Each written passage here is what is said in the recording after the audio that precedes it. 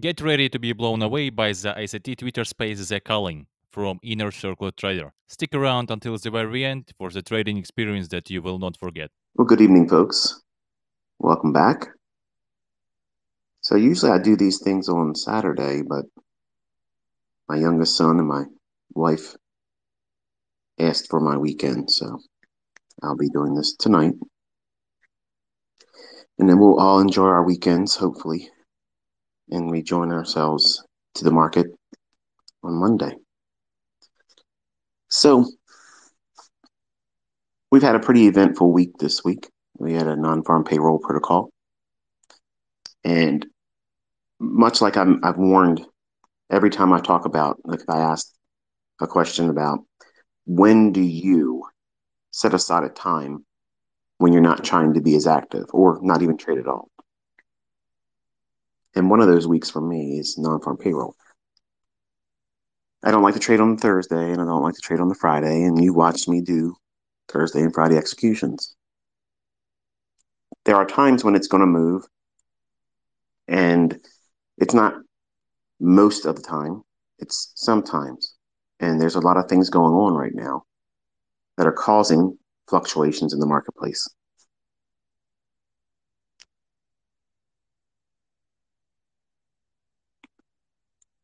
Perhaps you noticed today that there was a major bank that's garnered a lot of attention because it's been uh, shut down by the authorities.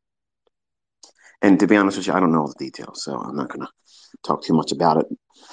But imagine for a moment that you had money in that bank right now.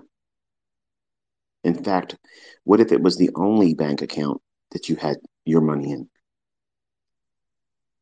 There's a lot of people lining up in front of that bank right now trying to get their money, hoping they can get their money. We're told that the FDIC is there to save our ass, just in case, up to $250,000 per bank per account. Hmm. Well, what if I told you there isn't enough money to cover everything? And what if I told you that the FDIC terms state that they could pay up to 100 years before they give you your money back? so that's the fine print, folks. so there's there's a culling about to begin, and it's probably already beginning now. And I mentioned this many times in the past, where you know, why are you learning how to do this trading thing? To prepare yourself to live a better life. Some of you want to get rich, and some of you just want to make ends meet. And some of you just want to have a secondary income to do whatever it is that you want to do. All of those things are fine. There's nothing wrong with that. But take a moment and think for a second. What if you were blocked from having access to your money?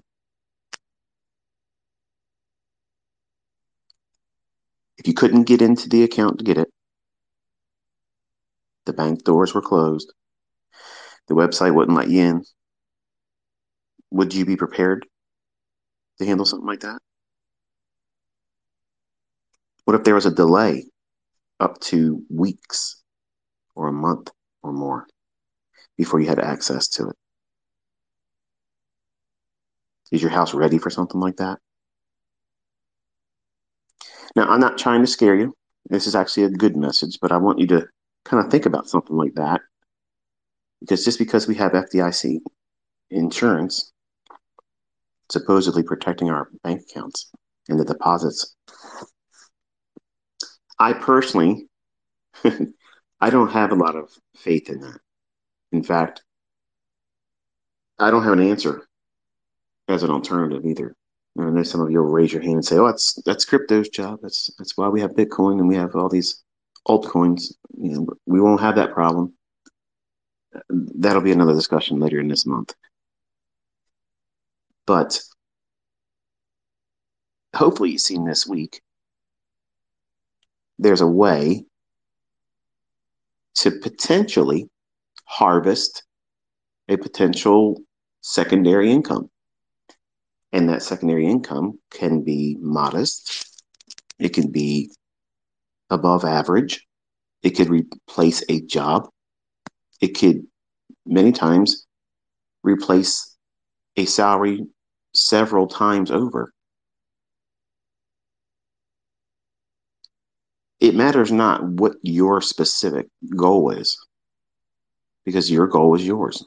Mine are mine, and everyone else listening to this, they all have their own goals. But you have to prepare while you make money, when you make money. You have to prepare for times that are coming. They're going to be hard. Everything's expensive now. Yes, I know. They're going to get more expensive, harder to get.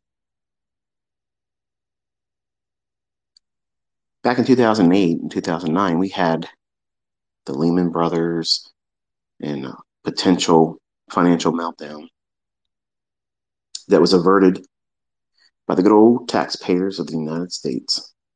We came in and bailed them out.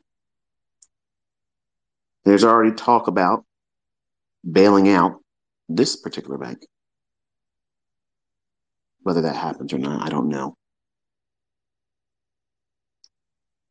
But if you studied the, the history around that 2008, 2009, they would lead you to believe that that was potentially financial Armageddon. Everything was going to melt down unless we bailed them out. So I want you to be aware that there are things that unfortunately are uncomfortable to talk about. They're not fun, they're not sexy, they're not in vogue but we're fastly approaching a time when if you aren't prepared to have the money that you're earning from your trading to be able to take care of things like how much cash do you have on hand? Most of us have just a debit card or a credit card and we have money in the bank but what happens if you can't access it how would you be able to function? Could you get gas in your car? Could you get groceries, diapers, formula, medicines, and prescriptions? See, we, we've grown accustomed to thinking that it's always available to us. Have it right now at our fingertips, push a button, it's ours, it's right there. And there's a lot of families right now that are scared because of what's going on with the bank that they have money in some of these companies that actually have employees, they may not be getting paid. Imagine that. Imagine that. They have mortgages, families to feed, car notes to pay, insurance payments, everything like you and I. And we're all sitting back chilling right now on a Friday evening, listening to some goober talk about stuff that you probably weren't wanting to talk about. but they are not thinking, let's sit back and chill. They're very uncomfortable right now. And rightfully so. But my concern is I'm not panicking. I'm not going to lose sleep over this, but it's here's my concern. Over the years, whenever I've talked about quote unquote tinfoil hat discussions, the uh, the reminder has always been from me to you as the listener is they will pull something on a Friday going into a weekend. That's the MO, that's the way they operate, that's just the way it is. And true to form, here we have a bank failing on a Friday. And that's going to be the excuse why the market went down. We were already looking for the lower prices in S&P. That's not the reason why it went down, but it's a perfect excuse for why it does. These markets are going to be changing here over the coming months and maybe two years. But more specifically, as we go into the latter portion of this year and in the beginning of next year. And you have to do what you can do to be diligent about learning how to do this now because the stresses that are coming are going to plague those individuals out there that don't have a game plan. They don't know how to trade. They don't know how to invest. They don't know how to control themselves. They don't know what they're looking for in the charts. And you have been witnessing exactly what we look for and how wonderful it is to be informed. So you may not be trading with live funds yet, but you are informed money. You're just not putting it to task yet, but you are informed. You're seeing things that 99.9% of the people in the world that speculate and trade are unaware of. They're looking at things that have no bearing on price and attributing a religion to it that this is what makes price go up. And these same types of speculators, these same types of traders are going to be culled soon. What does cull mean? A reduction, a collection, a gathering with the purposes of removal.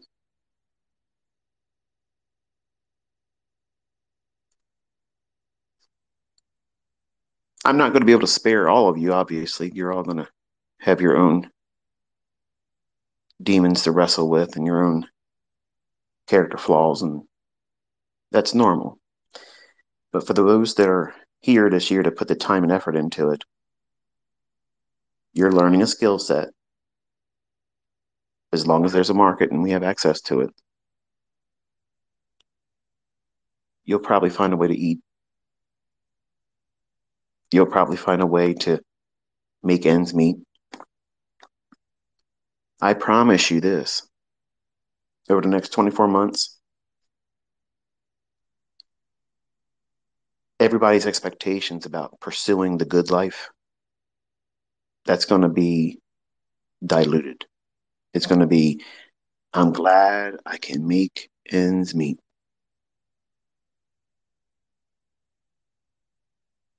So your job as much as you hate it right now you should be thankful you have it. Because that's one income st- stream that you have. As long as you show up you get the participation award at the end of the week, paycheck, or every two weeks. But you're building a business on the side. The goal is to either duplicate or replace entirely that job's income. Where everybody else in speculation and trading, they want a Lamborghini, they want a Ferrari, they want a Well, they don't want a Bugatti, do they? Nobody wants a Bugatti. I'm so tempted to get one. Can you imagine that sitting up on my banner on my YouTube channel? Look at this guy, Bugatti. It's a demo. So everybody else has got that mindset right now. They still want to pursue, you know, that lux life.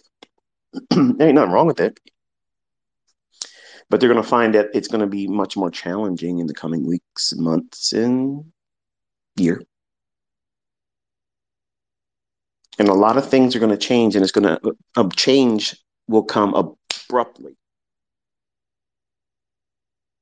just like it did for some that have their money in that bank, Silicon Valley Bank. the CEO knew he sold uh, about four million dollars worth of stock about two weeks ago. He'll have to answer for that, I'm sure.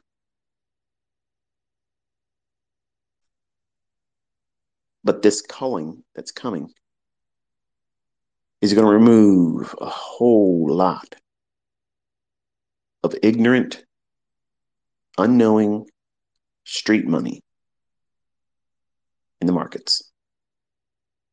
It's going to be a bloodbath. They're not going to know what to do. They're going to panic. and they're going to heavily bet just to get themselves out of something. And it's going to parlay something worse and they're going to lose their money. You're learning how not to do that. You're learning on a market that's very difficult right now, but guess what? It still works. It still works. It works both directions. You can be a buyer and a seller in the same day. You can trade without a bias. You can trade with a bias. You're learning very succinct principles, concepts, times of the day when these things should occur. And you're also seeing evidence to know when it's not there. Well, get out of the trade before it turns on you. Stuff that books don't talk about, things that aren't taught in courses because the average bear doesn't know it. They plow ahead looking for that next setup, that next fill. Give me the buy, give me the sell, give me the stock, give me the target. Don't worry me with all this boring discussion, this psychology stuff. When those candlesticks is a study of psychology, your personal and everyone else trading. You're reading the minds of everybody out there. And you're projecting your hopes and fears into those candlesticks when you're a trader. As a new trader, you're projecting every fear and anxiety it's known to man. It's the end of the world when you're looking at these candlesticks and you're in a live trade. You have no trust, no baseline to feel confident about what it is you're doing. And as a seasoned trader, someone that knows what to look for has been here before, they're not experiencing their first rodeo. They're familiar with a bull that bucks around and wants to throw them off. That's normal. But the first time bull rider doesn't feel that way. They're regretting it. They should have kept their rear end on the couch where it was safe to watch it, not being bucked around.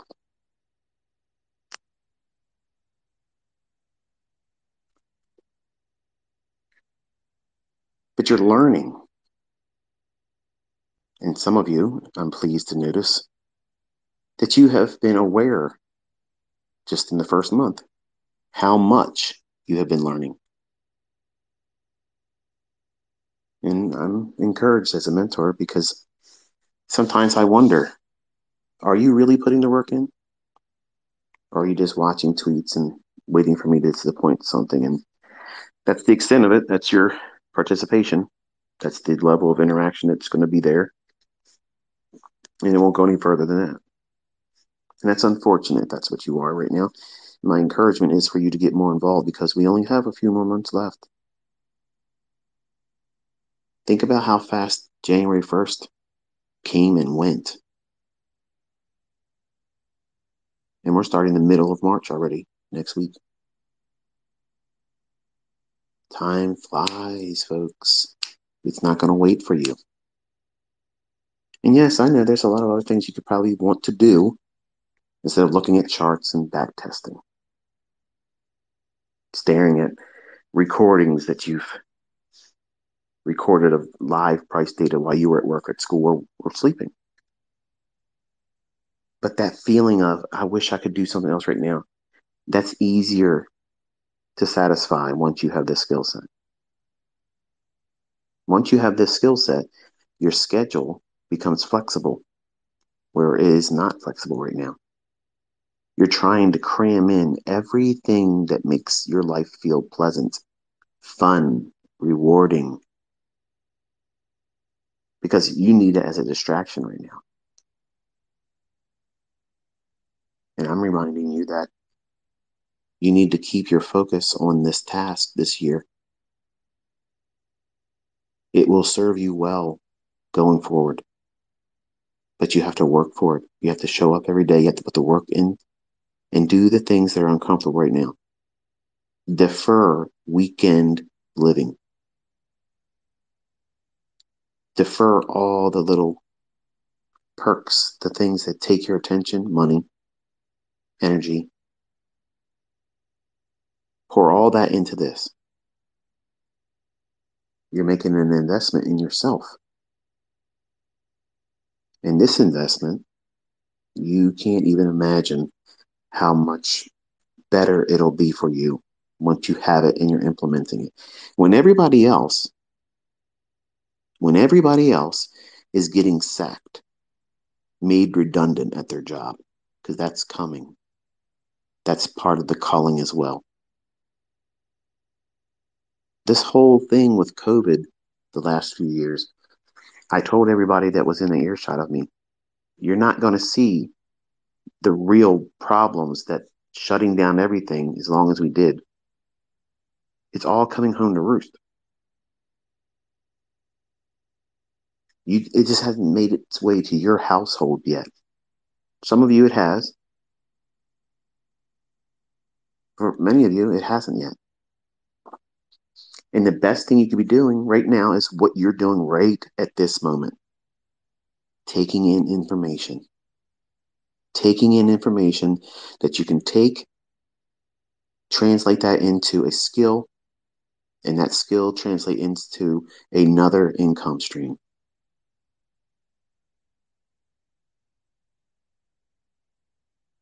That's insurance. It's insurance that pays you, not that you pay it. And as long as you don't have to use it, should be thankful. This is insurance that it's going to pay you, pay your children, your spouse, significant other, your family tree. And when everyone else next year is freaking out, panicking, not having enough, you're going to be in a position to have more because you have this skill set. Remember, one contract, one mini contract, put the task five handles a day, and you can see how easy that is. Don't be discouraged if you're new and you think that that was a statement that makes you feel inferior. Oh, it just makes me feel bad because you say it's easy and it's I don't think it's easy yet. It'll be easy by the end of the year. You have to keep showing up. Remember, you didn't swipe a credit card here. There's no PayPal, no Vimeo, no Cash App, nothing. The only thing you're doing is letting me help you by just showing up, taking the information in. There's no ads here. I'm spending my Friday night investing in you. And the worst thing you can do is just listen and view it as entertainment. But everybody else next year, they're going to be feeling things that are going to be hardship. And you, you right now are investing. You are storing up experience that you can put to work next year when everybody else is feeling like the world's caving in on them they can't afford things. They can't do things. They lost their job.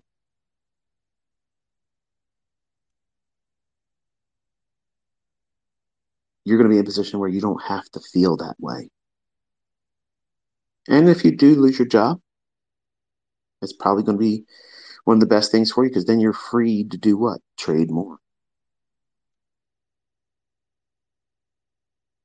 See, your mindset's transforming right now some of you faster than others.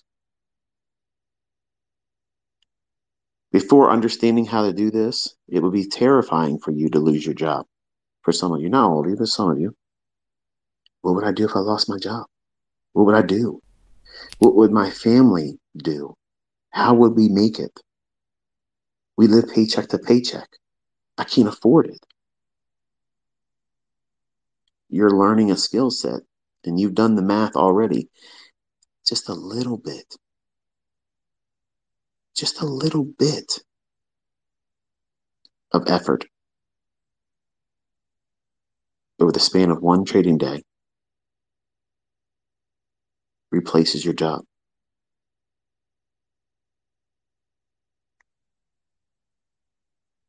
The reason why it doesn't feel like that's possible for you is because you've magnified all of your problems. You've elevated every obstacle that you may or may not actually have because what if thinking, what if this happens? But what if that happens? What if I fail? What if I don't really learn how to make money before November and ICT stops and I don't know how to do it? You'll have everything at your fingertips. Don't worry. Worrying about how you're going to be in November is irrelevant right now. What happens if you learn how to do it before November? You've worried about nothing that was worth worrying about. Your what if thinking should be how exciting is it going to be? How exciting is it going to be for me as a new developed speculator with a skill set that I now am armed with. And whatever this world throws at me, I'm not limited to whatever my paycheck tells me I'm worth. That's how you should be thinking. Not, what if I don't learn this in time? What if, what if I, I start and I lose money? You're going to lose money the rest of your career. That's what every trader does. Losing's part of it. And you're worrying about it like it's going to go away, like you can avoid it. You watch me have losing trades this week. Did it have any effect? If you watch that last video, you can see it didn't affect it at all. but your skill set that's in development right now, it's like a superpower that you haven't discovered you have yet. For some of you, it's going to give you overconfidence and almost stroke your ego to the point where you think you're better than anyone and everyone. You'll be humbled. And for those that are more balanced, prepared for the responsibilities of having this new superpower. What's the superpower, by the way? What is this superpower? The ability to write your own checks, to go on your own steam, to be able to tell Carl to pound sand. Enjoy working, Carl. I got places to be and people to see, and you ain't one of them.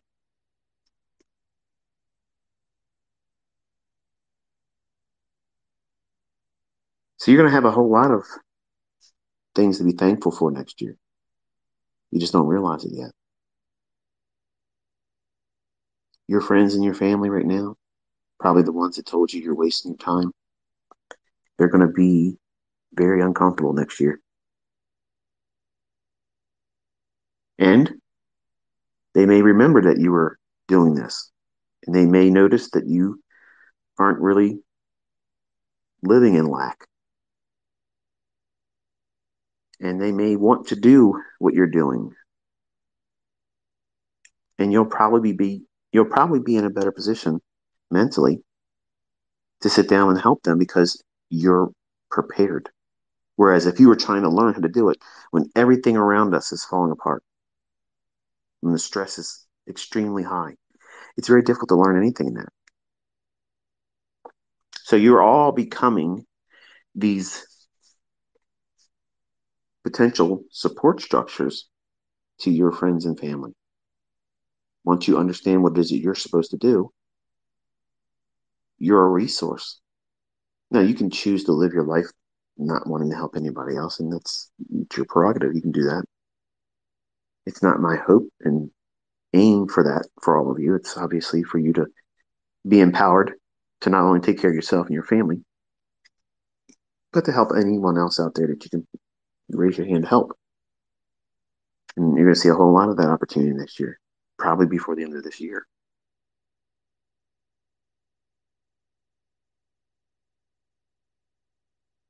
Seeing what you've witnessed with just the new concept of a new week opening gap and seeing how that draws price to it, much like a black hole.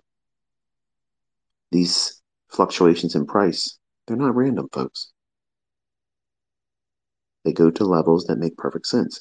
If you understand what that level is about, it's the purpose of it. Why should it go there?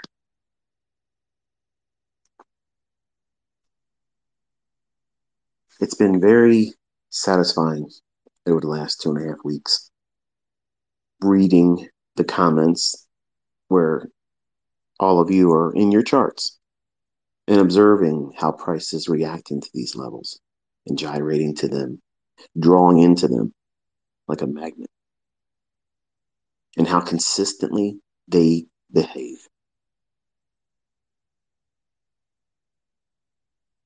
It's been in your charts all this time. In fact, people talk about them. There's gaps. Of course, there's gaps. Of course.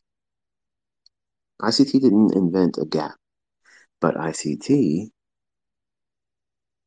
taught you how to use them.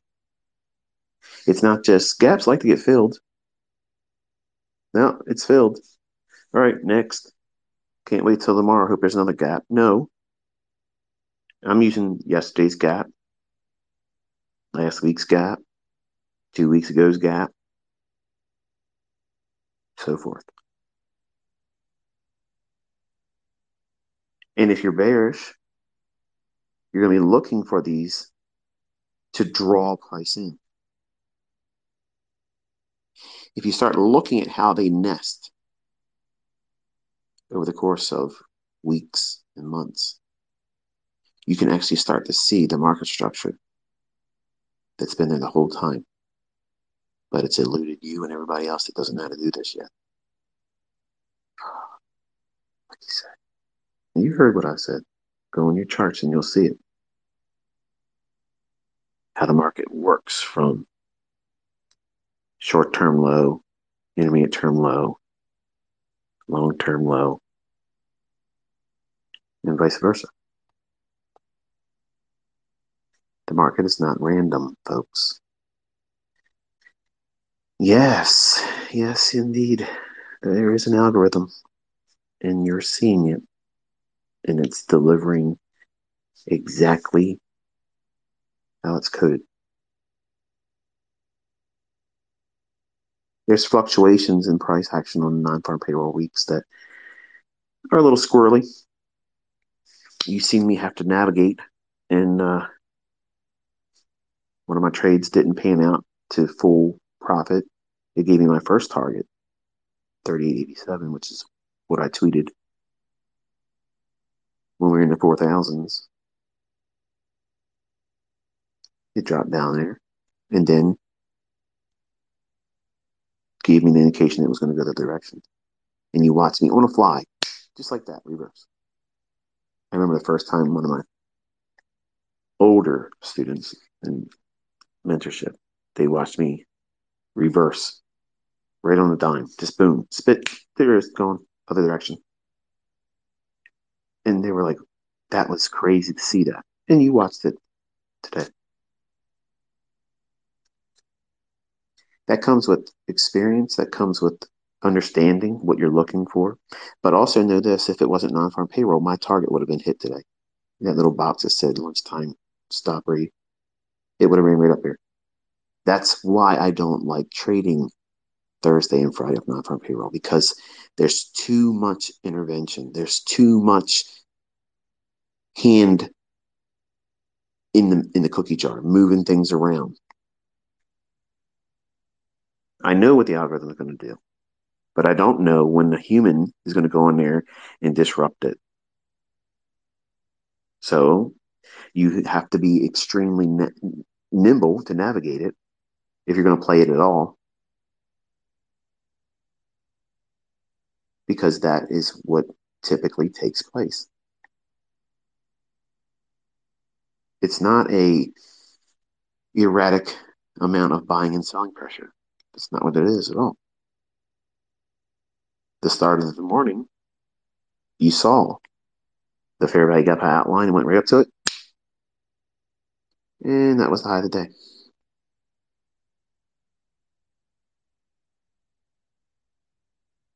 I made allowance for maybe running for another attempt higher. I showed you another chart where if it runs above that, that would be it. And if I was being honest 100%, if it had gone to that one, I would have called that as the daily high. But it just so happened that the first fair value gap I outlined, that was the high of the day.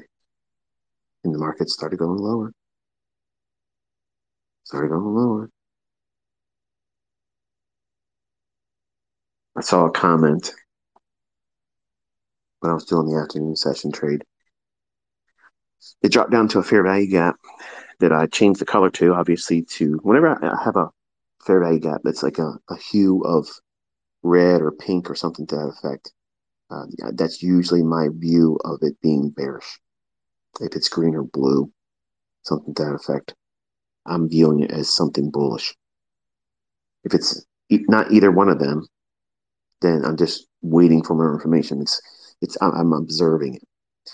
Uh, my son asked me, you know, was there any reason why my colors are used? And I said, well, I guess subconsciously that's how I internalize it. But I never really actively said anything about it. I think maybe some of you that were more aware and, and looking at things more critically probably observed that. But I saw the, the tweet sent to me after I shared the the afternoon trades where I sold short as it was inside of a fair value gap. That price was above, it traded down into it, and I went short right there because you're in an area of inefficiency. My expectation was price is going to go lower. So if price is going to go lower, you can trade short in the fair value gap anywhere. As soon as it enters it, it's okay. It's the equivalent of selling short on a sell stop. That's how I internalize it. But I'm trading within a range of that fair value gap. I'm trying to get preferably consequent encroachment, the midpoint of it. Because that's like the the perfect little area where I don't need to be at the high end of it to be short. And it's not the lowest of the range that makes that fair value gap. So I'm trying to get in there. Anything better than the low of the fair value gap when I'm bearish. And you saw how that performed. It moved outside the fair value gap, went down below, it came back up, and then I added more as it bumped the bottom of the fair value gap. See, that's what real support and resistance should perform like in price. The problem is you aren't ever going to know which line to draw that's correct because it's always going to go through it, not respect it. And that's why it, it look, if it was just as simple as support resistance, those books would be constantly on the best sellers list. They're not because it's subjective.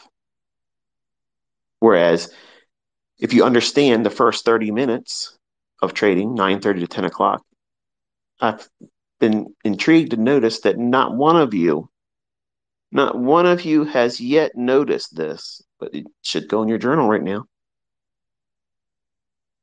In the first 30 minutes, the fair value gap that I mention every time, that's the one that's critical throughout the rest of the day.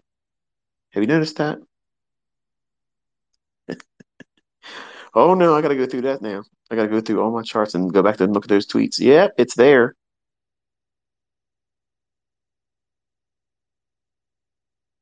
You'll learn about that this year. What's the significance in that? You'll learn it just one step at a time. I can give you everything in a big, gigantic blob of information, but it isn't going to help you. You have to have pieces of it shown to you, one piece at a time, and you'll know.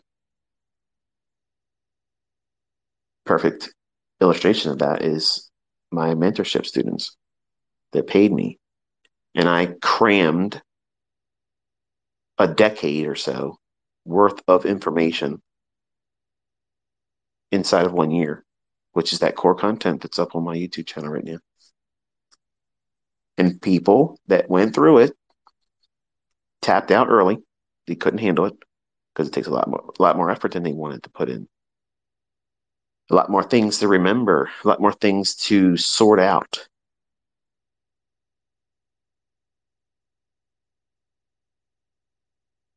But those things are going to take you time to learn.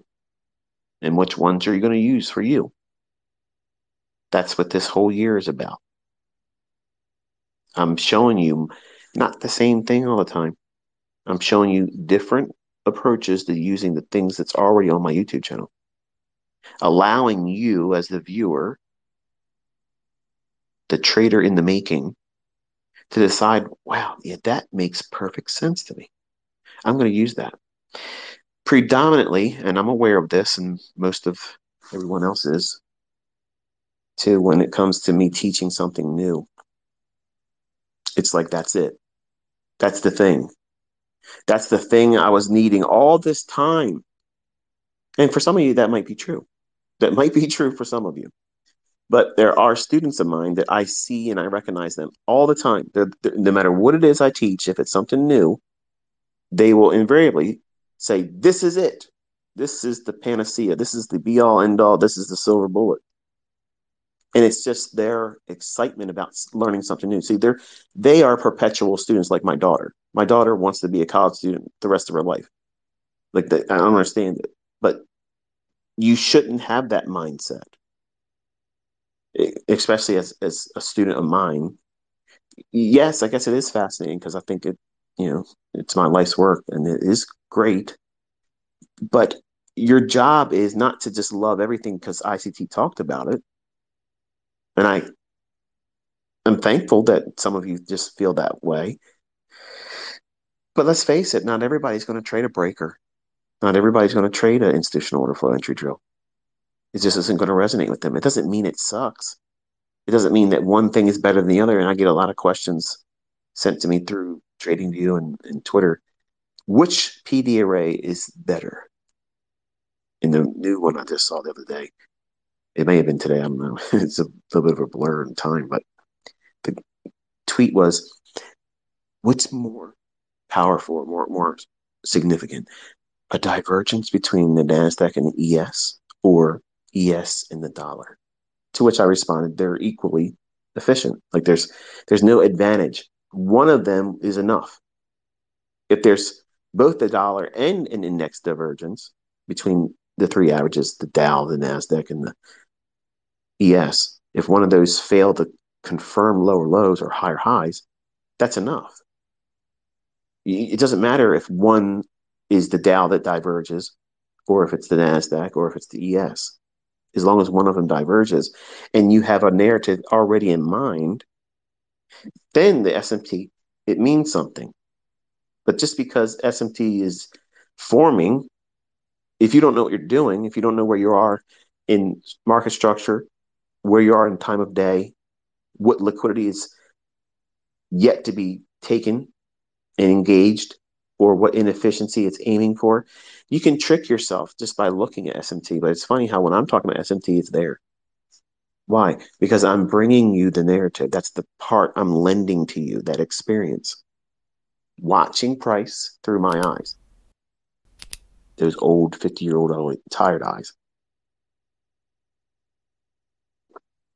You're learning how to do this incrementally, which is the only way you can learn it. And for some of you, it's not happening fast enough and you're vocalizing, well, not vocalizing, sharing your frustrations through tweets. And I must say, it's unfortunate because I've asked many times for you not to do that because number one, the only thing you're doing is reinforcing subconsciously that you're probably going to be unsuccessful because you're focusing on, you're elevating you're placing all the emphasis on your shortcomings and you're doing it in a negative light like you're bringing all the energy and highlight and spotlight on the fact that you can't do it. I saw a student or a viewer, I'm not sure what it is. It could be somebody that's trolling, but they said, I hate myself because I, I can't learn this. Well, that's the worst thing. You, eh, apparently, you're not listening. Because if you really feel that way and you felt compelled to type that out and just toss that out there in the abyss, into the ether, what, what's going to happen? You kept some of that internally. You kept it. You didn't throw it away by just typing it into the internet, sending it into Twitter. You signed it to your soul. Like you literally tattooed the pain, the regret of that tweet, that that emotional stimuli that you've elevated it to, you have retained that internally. And you now have to work through that. And every time you do it, you're building up more callus. More callus. It makes it harder for you to get down to the flexible skin that you have to be as a trader. When you when you build up all these calluses, which is all emotional and psychologically done to yourself, you lose the elasticity of having healthy skin as a trader. That's why it's important for you to listen to me so that way you don't get the scar tissue. The scar tissue is not so elastic, it limits you. I've been stabbed in my thigh. I was a younger man, they tried to take my car off me. And every now and then, if I'm doing certain stretches or whatever, I can still feel that tugging in my thigh because there's scar tissue there. So the same thing applies with you while you're learning how to do this. You don't want to encapsulate a negative feeling about your shortcomings. Don't encapsulate that moment of regret or despair or doubt. Instead, whenever you have that impulse to do that, you need to change the vocabulary. Instead of saying, I hate myself because I can't learn this shit. That was the tweet. Instead of typing that out and sending it into the ether on Twitter, say something like this I'm not there yet, but I'm excited that I'm going to absolutely kill it. And I will know exactly how to do this before I ever thought I could. Now, you may not wholeheartedly believe everything you just typed, but your subconscious retained it. You're programming yourself with positive self talk. It's important, folks. It's absolutely crucial because this game is won between the ears. It's not won with the clicking of your mouse. Because long before you press that button on your mouse, there's a war going on between those two temples of yours. That gray matter, that seven pound universe that's inside your skull, it's wrestling. And the only thing it's wrestling with is the only thing you gave it the worrisome thoughts, the what if thinking. What if I fail? What if people ever, uh, what if everybody laughs at me? What if they ask me for my results and I can't show it? What if my spouse asks me, Did you lose any money today? See, that's what you're feeding yourself. You're feeding yourself that constant diet of negativity. And is it any wonder or surprise when it comes time to doing a trade? You're scared. Of course, it doesn't make any sense for you not to be scared because you've conditioned yourself. And then you feel like you shouldn't be scared to press the button or worried about the outcome. Or if you take a loss, it's monumental now because you've told yourself dozens of times before you even walk to your computer, before you even check the charts, you've already convinced yourself that you're probably going to lose money today. I'm probably gonna lose money today. It's gonna be one of those days. Well, let me get in there and get it over with. And then you go onto social media like it's your therapist. Like someone's gonna be coddling you and saying, honey, it's okay. Listen, chin up, okay? Keep doing exactly what you're doing and you'll get there. I'm not gonna tell you that. If you type those things into Twitter and my handle's attached to it, you're never going to hear me or see me say, keep doing what you're doing, buddy. That's the right way of doing it. That's the wrong way of doing it. You're encouraging negative thinking, toxic thinking, more specifically. And you have to guard yourself from doing that. And I know it's hard, especially when you're new. It just feels normal for you to vent. Believe me, I know all about that. But when you're new and you're learning, it's crucial that you guard your mind and you don't allow your mind to run around like a child and emotionally charge every experience in light of its negative implications on you as a trader or as a person. It's it's important for you to understand that that is a counterproductive trait that many people do. And unfortunately, it does them in. It prevents them from ever finding success. It prevents them from reaching their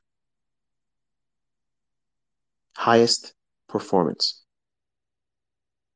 where they don't have to worry about the outcome. Do you think that major league athletes like baseball players, football players, even golfers.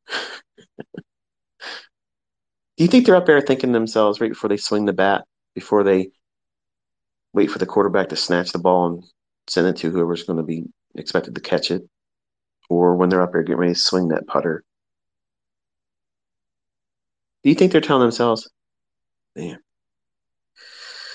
I'm about to blow it here. This is going to be the worst thing I've ever done in my entire career, and I'm being televised. Do you think they're doing that? Chances are they're probably not. What are they probably doing at the time? They're focusing on what their conditioning and training has brought them to that very moment. What am I supposed to be focused on? This is the play we're about to we're, about to do. This play. The playbook says the coach said this is what we're doing.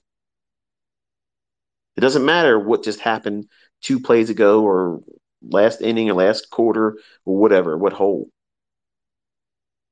We're here right now. What's the process? I'm supposed to do this because this is what's happening. So therefore, this is what's been given to me. I have to make a decision. What's my process? What's my experience tell me? I'm leaning on that, not what if thinking. If the quarterback takes the ball, snatches it, and starts thinking, what if I throw the ball to the wrong player? They're not they don't have time. They're not there thinking about that stuff. Major League Baseball players with high batting averages, they're not stepping up to the plate and thinking to themselves, well, you know, I ain't struck out in a while. It's probably a good time to start doing it. That's, that's not what they do. That's not what they do. But some of you, all of us really, in the beginning, as traders, when we're new, we're out there saying, man, I suck. Man, I'm never going to get this stuff. This is really hard. This is way harder than I thought it was. This is just BS. I'm never going to make it. Why am I failing at this? Why won't these order blocks work? Because you're frustrated and it's normal. But you have to replace that with positive self talk. You are your best cheerleader. You're the only cheerleader that's going to have an impact on you. Yes, that's the truth. Because, yes, you can go out there and lie on social media and pretend to be something you're not. Or you can share something you got lucky with and wait for other people to like the comment comment on it and say, wow, you're the goat. And the only thing that's doing is what? It's stroking your ego when you know You're not going to be able to re- replicate that again. It's just an aberration right now. Just it just happened, and you know it, but you want to feel good, so you toss it up to the abyss, into the ether on Twitter, on Instagram, so that way someone will see you, and they'll pat you on the back, and that's a false sense of security. That's a false sense of security. That's a false sense of accomplishment. So it goes both ways. You shouldn't talk to yourself in a negative light when you don't do well because your subconscious is so powerful. It's absolutely crucial that you feed it the right things. If you constantly give it negativity, it's going to show up and it's going to present what you fed it. You're going to get in, you're going to get out of it what you put into it. If you're constantly feeding yourself negativity, highly critical of yourself, doubting yourself, when it comes time to do something in trading, in anything, you're going to second guess, you're going to doubt, you're going to procrastinate. And even when you do make a move, you won't be doing it with confidence because you're going to expect what? What your subconscious already told you is going to happen. You're going to fail. And here you are doing it over and over again, expecting something different to happen. That must be the epiphany ICT is talking about. I'm, I'm looking for this thing to happen. You're never going to have it happen when you're doing that. You're going to be consistent at failing instead of aligning yourself with consistently developing into profitability.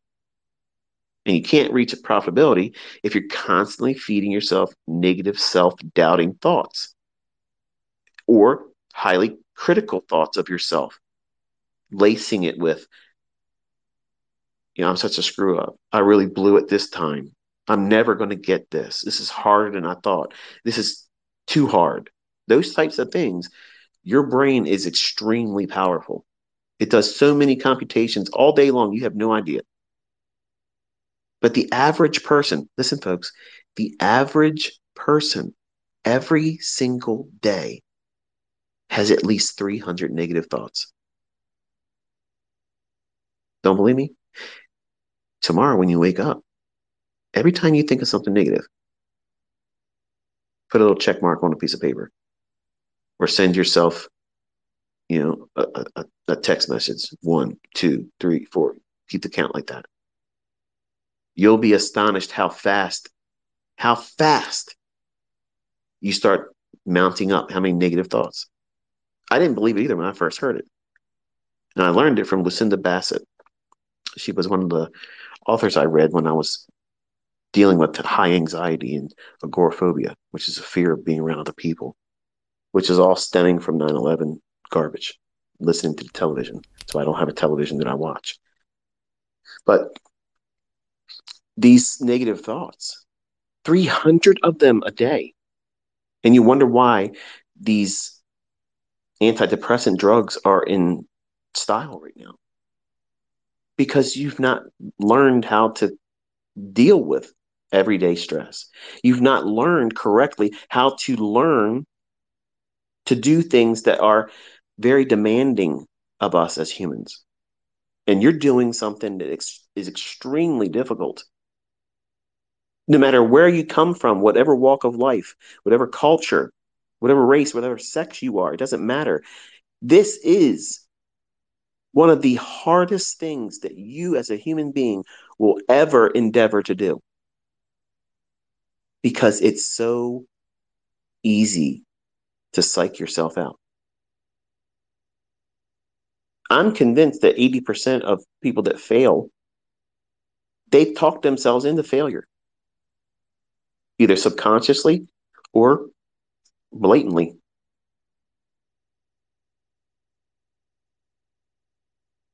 Think about what you've done to yourself as a trader. If you've traded with live funds and you've blown that account or accounts, you can go right back to the moment where you knew, you knew at that moment right before you did it, when you still had money in the account, the day that you did like 25, 30 trades, over leveraging, trying to fix something, trying to just do whatever, at some point, it became like you just wanted to end it all because it was too painful. Just click until I don't have any more money left. I don't have the discipline to do it right. I've already convinced myself that I'm never going to do this. So let's just blow the account and be done with it. So subconsciously, what? Your mind tells your hand there's something to do. Push the button. But the chart's saying nothing about doing anything at all. You're never going to see a book written like that. But that's the stuff that goes on for real. That's the very thing that's going on in the mind of someone that's blowing their account, going into severe drawdown. Their subconscious is manifesting themselves through that transaction or series of transactions. The subconscious already knows that you're failing. So it's doing what? It's doing what you trained it to do manifest what you've programmed it to expect from you.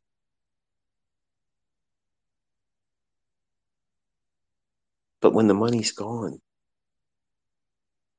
and the account's blown, you have this sudden feeling of regret that you didn't have before you were pressing the button. You didn't have any regrets. You were going right in there, pressing and pressing and pressing and pressing because you had a task. You had a goal and you hit it. Well done.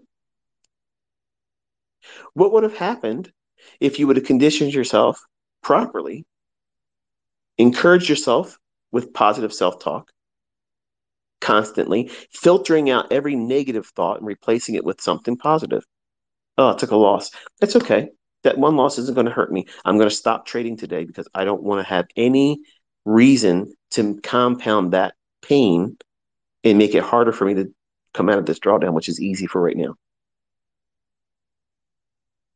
It takes a lot to have that discipline to remind yourself, oh, yeah, something bad just happened. Well, you know what? I'm going to stop here. And before I lose control of myself, I'm going to exercise discipline. I'm going to do the right thing, which is follow the principles, convince myself that this is not the end of the world, and do it in a light that's positive. And then what's going to happen is the next time you go in from the, the charts, you're not going to be fearful because that last trade that you just took a loss on, it wasn't that big of a deal. You stop trading because you know that your discipline is required and you did the right thing. You didn't make it worse. And you're not impatient. So you're not trying to rush to get it right back because you lost a, a trade. And that way, when you go into the next trade, what are you feeding off of?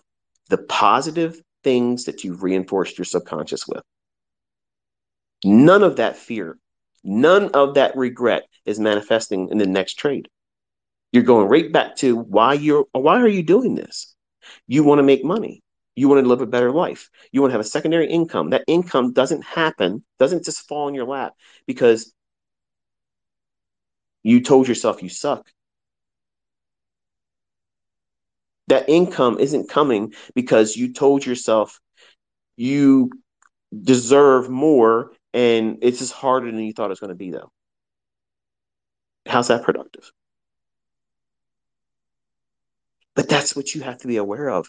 Every day, you're feeding your subconscious the very reasons why you're either succeeding or you're failing.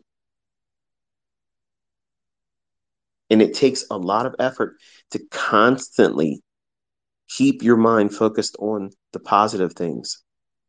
And in recent years, it's very hard to stay positive about anything. It's depressing if you look around and see what has been going on. But you have to you still have to grind and prepare yourself mentally for this.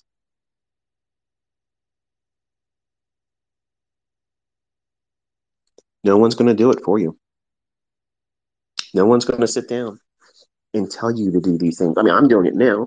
Every time I have a Twitter space, I'm basically doing that.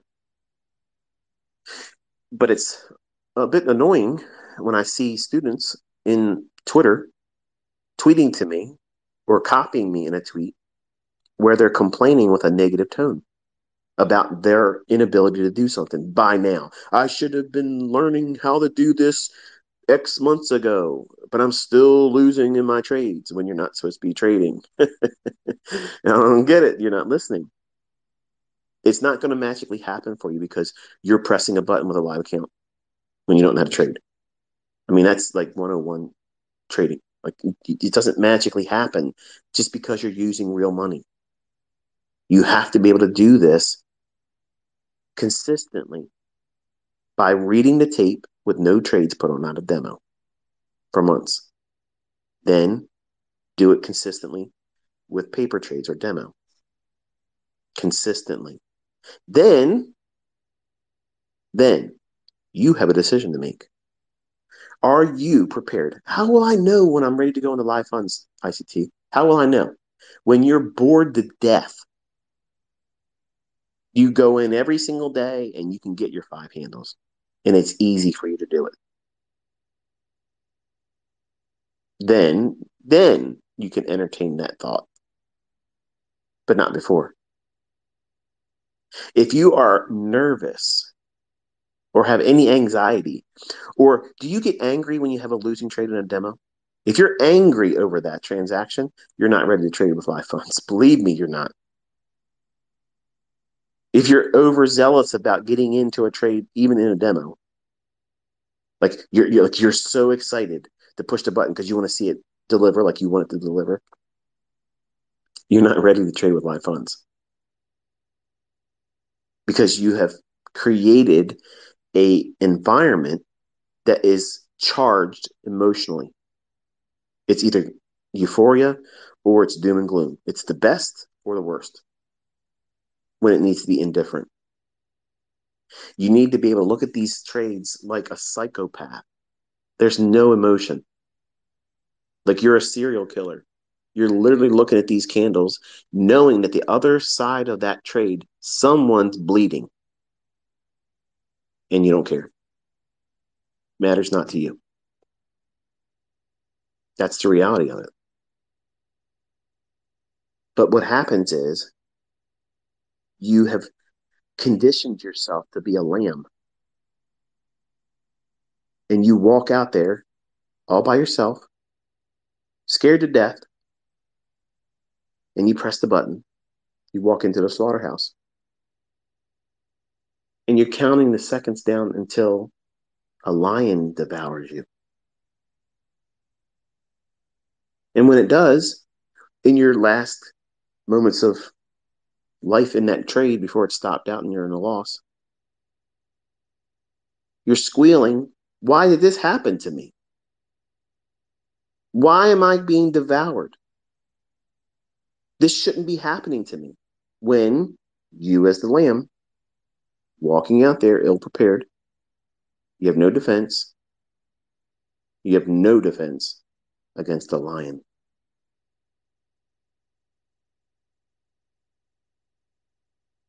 And you're wondering why that happens in your trading. Because you're ill equipped. You're going into a slaughterhouse every single time you enter these markets. I'm going in it, you're going in it, we're all going in it.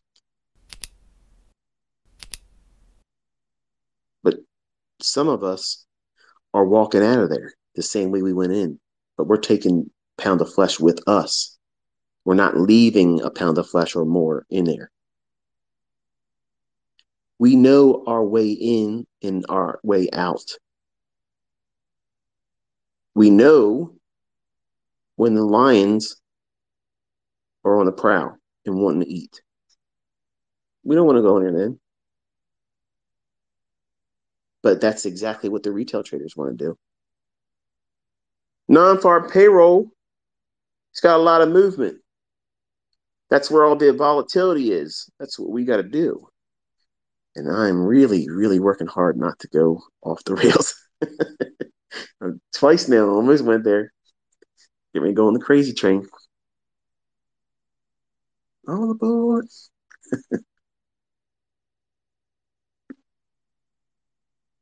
Retail thinks about these high impact news drivers, and some of them are good. but some of them aren't. But this is where you want to trade. And ICT says, don't trade here. Look at this trade. Mm-hmm. Look at my trades this week. Mm-hmm.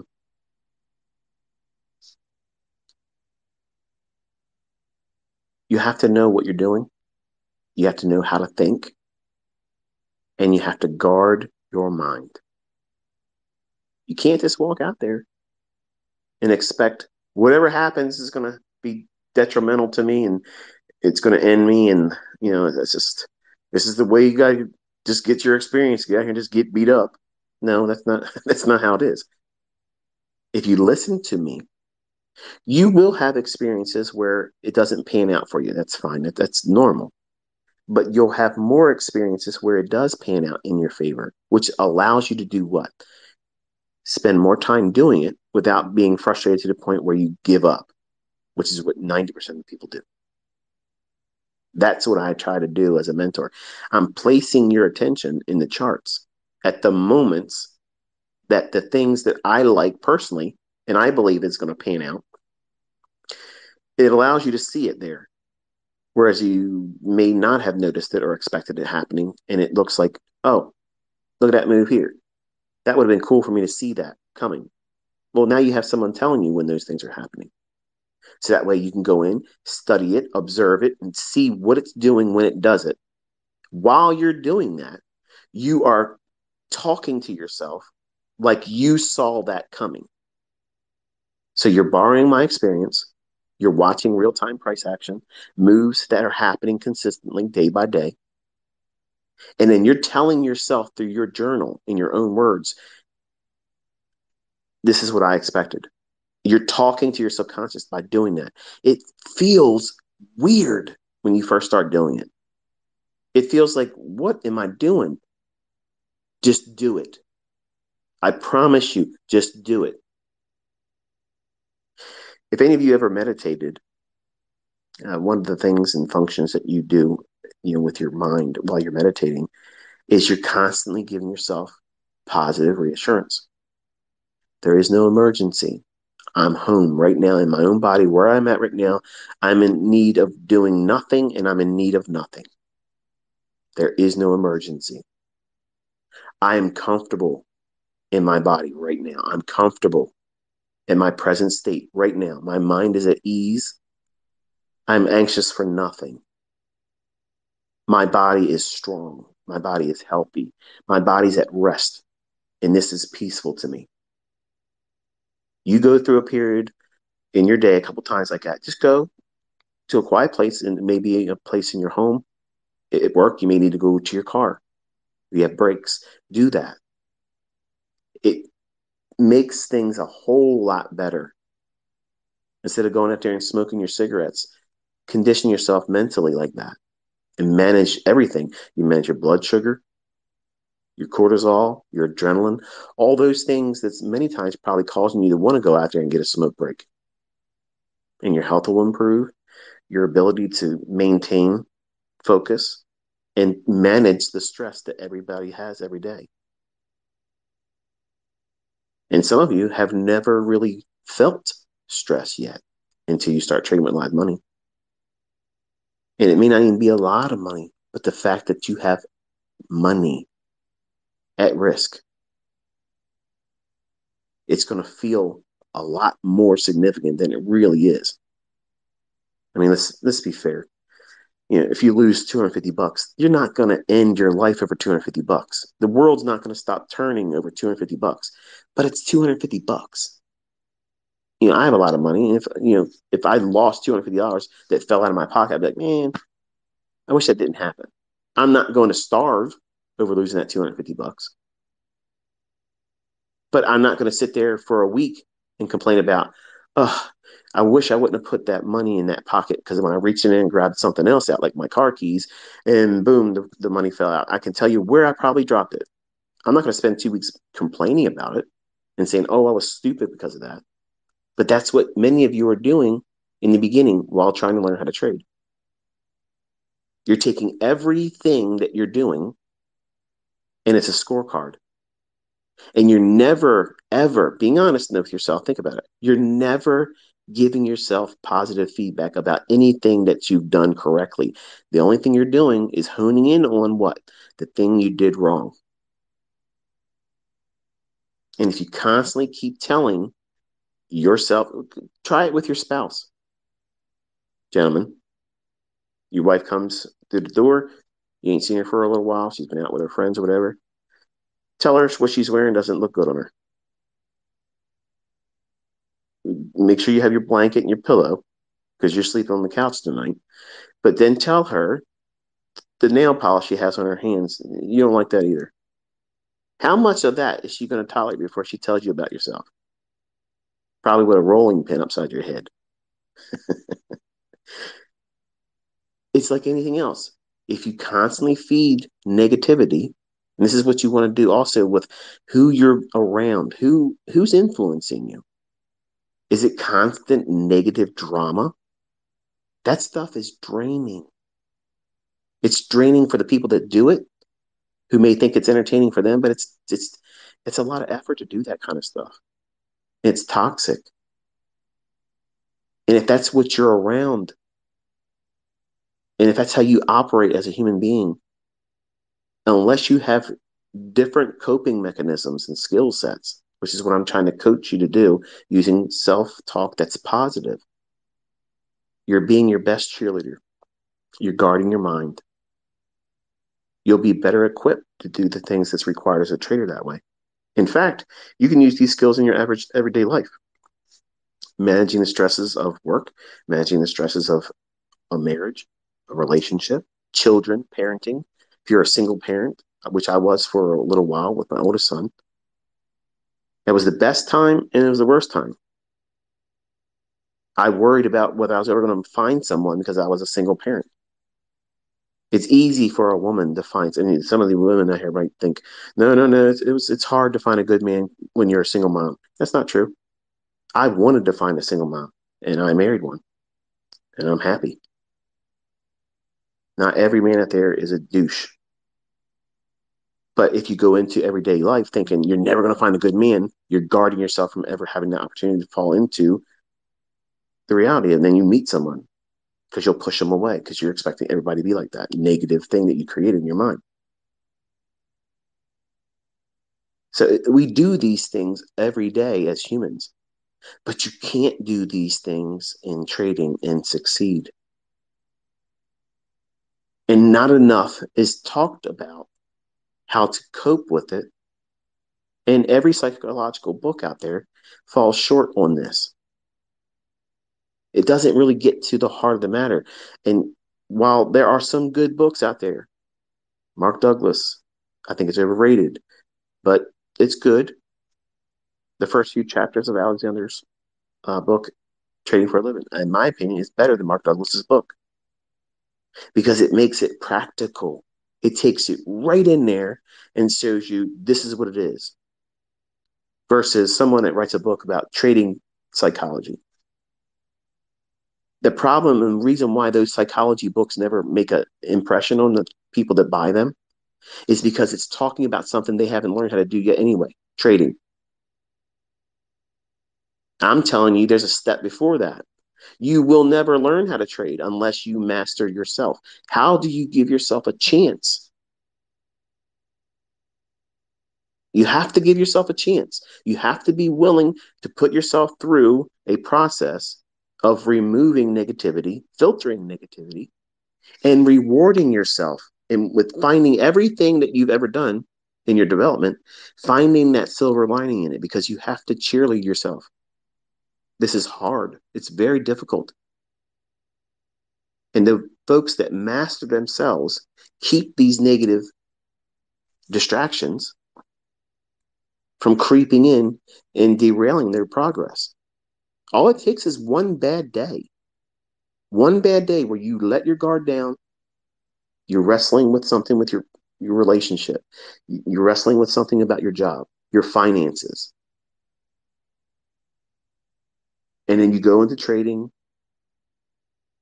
thinking it's rocky theme playing there's a montage going on right now you're playing in your your earbuds every comeback song that ever came across the the TV movies or whatever it is, and you're in that.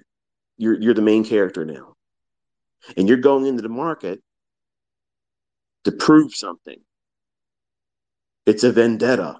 You're going to go out there and you're going to exact revenge on Carl. Carl's not on the other side of your trade. Carl's still at the desk at work, trying to get employee of the month again. But you're in there trying to do something, fantasizing,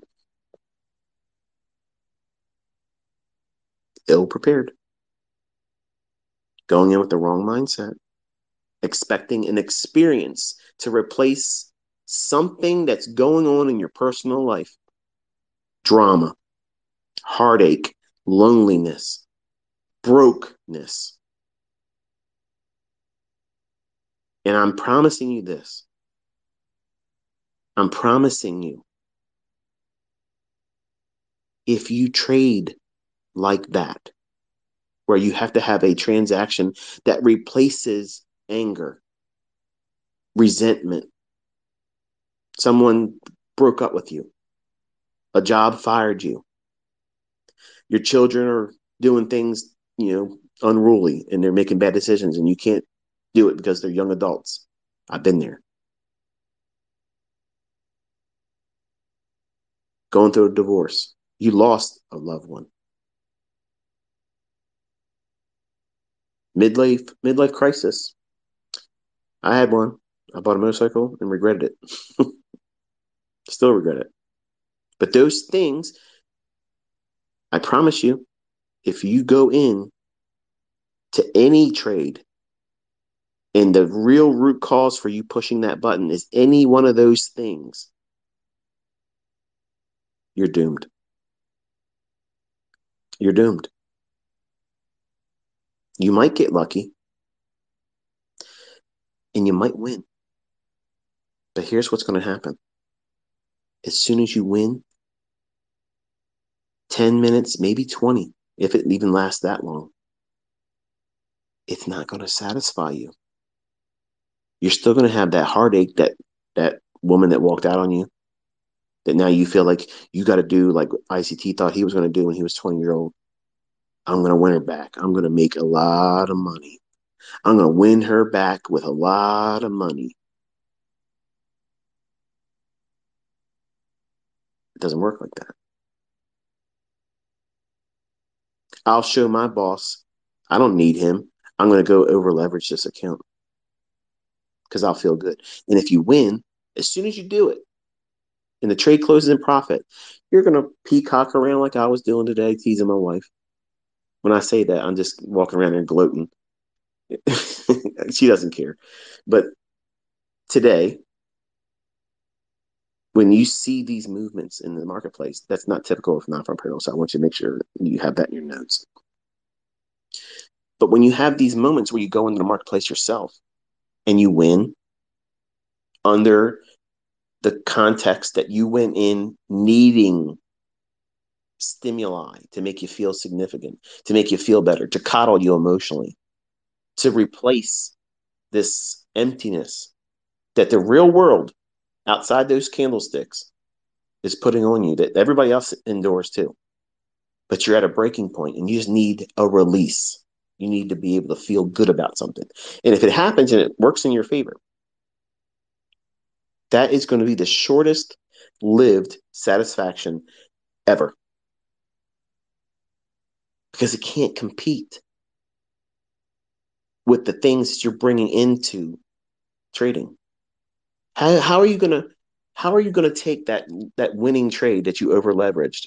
I don't care if you made twenty thousand dollars. That win is only going to feel good for so much time.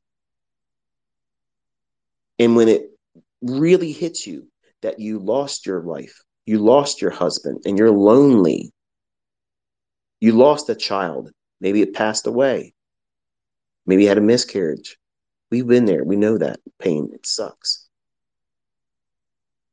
But that win, it won't counter that level of ache. So don't go into trading with it. You can't fix those things with, tra- with trades. Winning trades don't fix those things. A process, a model, sound risk management, impeccable money management. Those things deliver wins. And those wins need to be collected without any emotion. Okay. I made another thousand dollars today.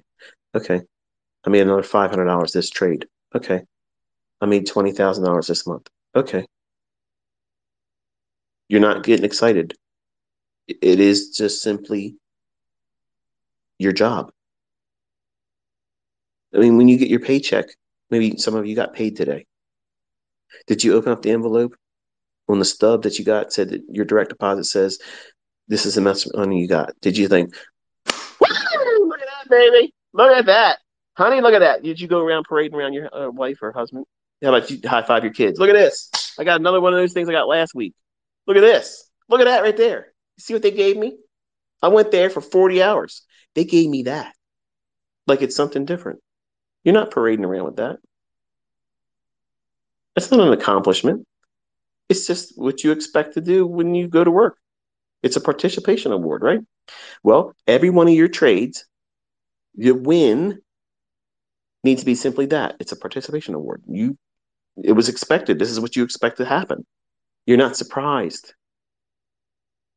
It's just the way it is. Okay? You don't want to emotionally charge it. It's not a big deal.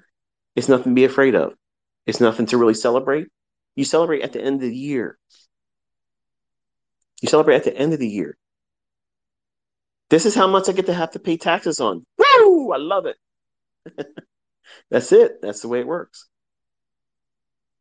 You do not champion a winning trade and you don't regret and just go into depression over a losing trade. You're indifferent. It's just business. It's all it is. It's just business. You showing up to your job at your regularly scheduled time for the time you're supposed to punch in to the time you go home and punch out. It's just business. That's the relationship you have. The boss says you show up at this time, be here at this time, and go home at this time. And if you do that, you get a monetary reward at the end of the week. Okay. Same process with trading. The process is I have to do this. I have to show up in front of my charts. I got to do the process of looking through these charts, looking for the thing I'm supposed to be doing as the trader. Then, when the time has come, I'm expected to do something with that opportunity. And I have to do what? Manage risk. You're doing it at your job. You're managing your personal risk when you drive there because you don't know if you're going to get there safely or not, but you're doing everything you can, hopefully, not looking at your phone, texting, and whatnot. But once you're at your job, then you're managing the risk of what? Your employer. You don't want to waste supplies. You don't want to waste time watching ICT videos on the clock. Liar. Everything you're doing is managing risk. Are you a good risk manager? Do you speed to work? Are you driving without your seatbelt on? Are you texting, speeding without your seatbelt on? That's not a good manager of risk. You're going to blow your account. These are all things that you need to be aware of because that's exactly what you're bringing to trading. That's exactly what next year, when everybody's having a hard time, and that culling of the ill informed street money traders, they're going to be cast out like lepers. This market is going to be harsh to them, but it's not going to be harsh to you because you're learning, you're being forged in the fires of difficult trading environments right now. These are hard markets, and you're being forged in these fires. You're being prepared. Your steel is being forged in this. You're being battle ready. You're being battle prepared. You're getting all of your armor right now, and you're learning how to use your weapons in a safe environment where nothing can happen to you right now. Nothing can hurt you. It's all upside, it's all advantageous. It's not any weaknesses. This is proper training. This is the right way to do it. And when it comes time for you to be involved in actual trading, whether it be through a funded account or live trading, you will be at the highest point of readiness any trader would be reasonably expected to have. Because it all changes when there's real money involved. That's the part that I, I can't I can't take you to that. Everybody's going to experience that on a different level. It might be extremely stressful for you. Others to be like, this is way easier than I thought it was. This is, this is fun. But some of you will be thinking, I'm terrified. I can't afford to lose. And you'll have new learning to go through. But you'll at least be trained properly before you get to that point, which is important. Books and courses don't take you there because it takes time and they don't want to lose the subscription fees, the membership fees.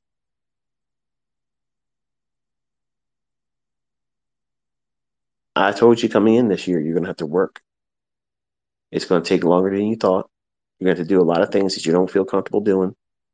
But you're going to be doing that the rest of your life as a trader anyway. So you might as well warm up to the idea. Back testing, studying charts, looking at charts. Before a trade can form, what are you doing? looking at charts. You have to look at them, right? You have to. So you might as well get used to the idea of doing it and enjoying it.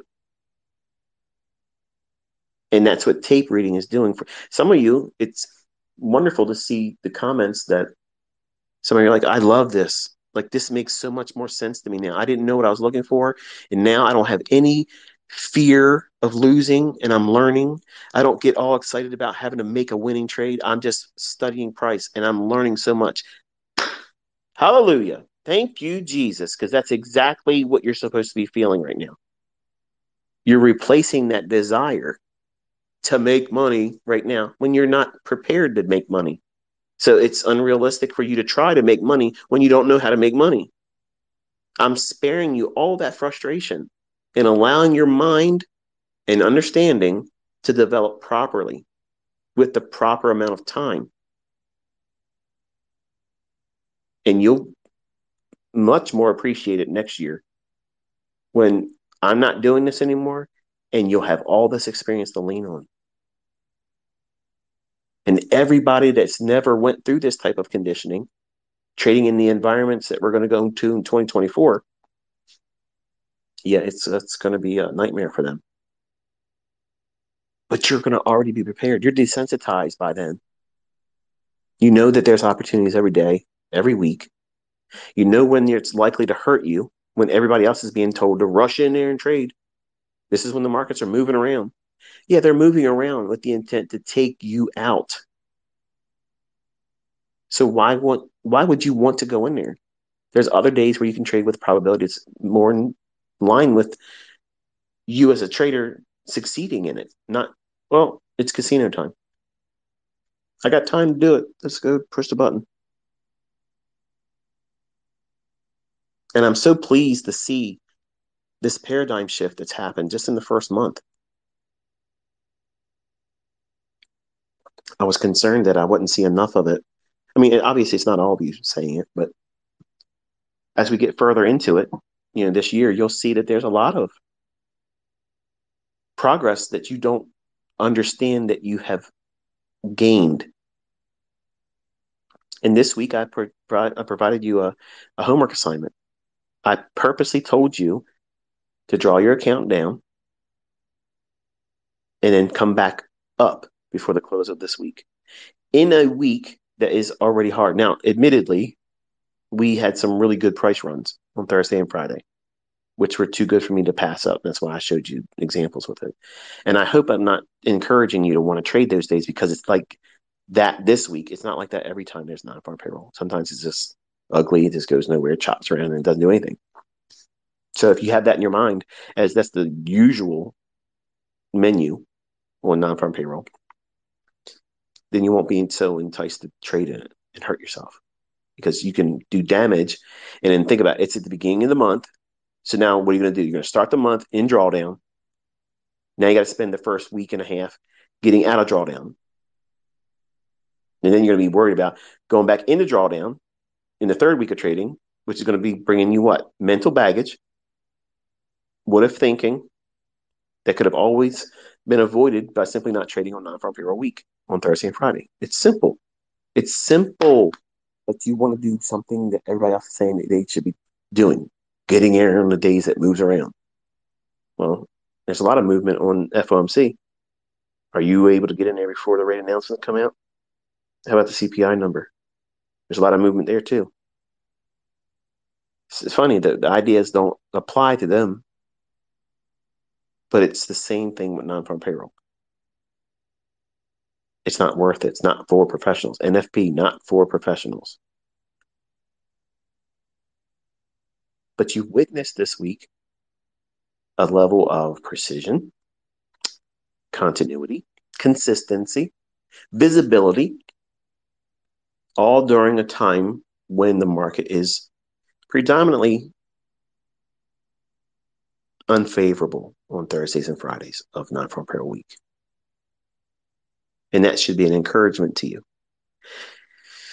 For a new student, it's, it's probably hard to appreciate where you're at and what you're learning because you don't have a a reference point to say this is the other alternative and for someone that has gone through other styles of trading maybe tried different approaches to trading and now they're doing this it's rewarding to me as a mentor reading their comments and saying i've been doing this i've been doing this I've been, none of it's ever worked or made sense to me. This makes perfect sense. That's exactly what i'm aiming for. That's exactly what i'm aiming for. Because there are different ways to skin a cat make money trading yes. But those disciplines don't get to the root cause of why price is going where it's going when it's going to go there and why it should that's that's what I try to deliver as an educator. When I'm looking at price, I'm internalizing a whole lot of things that create a narrative. Why is it going to go up there? Why should that candle not be broken in the process of going up there? What should be reasonable in terms of retracements, but no further than this? See, that's logic. That's stuff you don't you don't have that in their traditional analysis. Trust me, I would tell you if it was, it would save me a whole lot of time talking. So here you go, just do this and be done.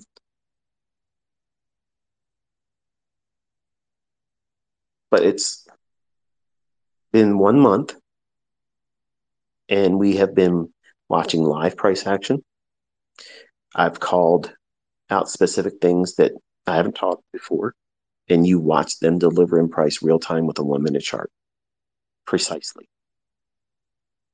I'm not, and as you can hear me when I'm talking about it live when it's happening, I'm not surprised. I'm not hopeful, scared. It's this is what I'm looking for. This is what an algorithm should be doing at this time, right now, doing this.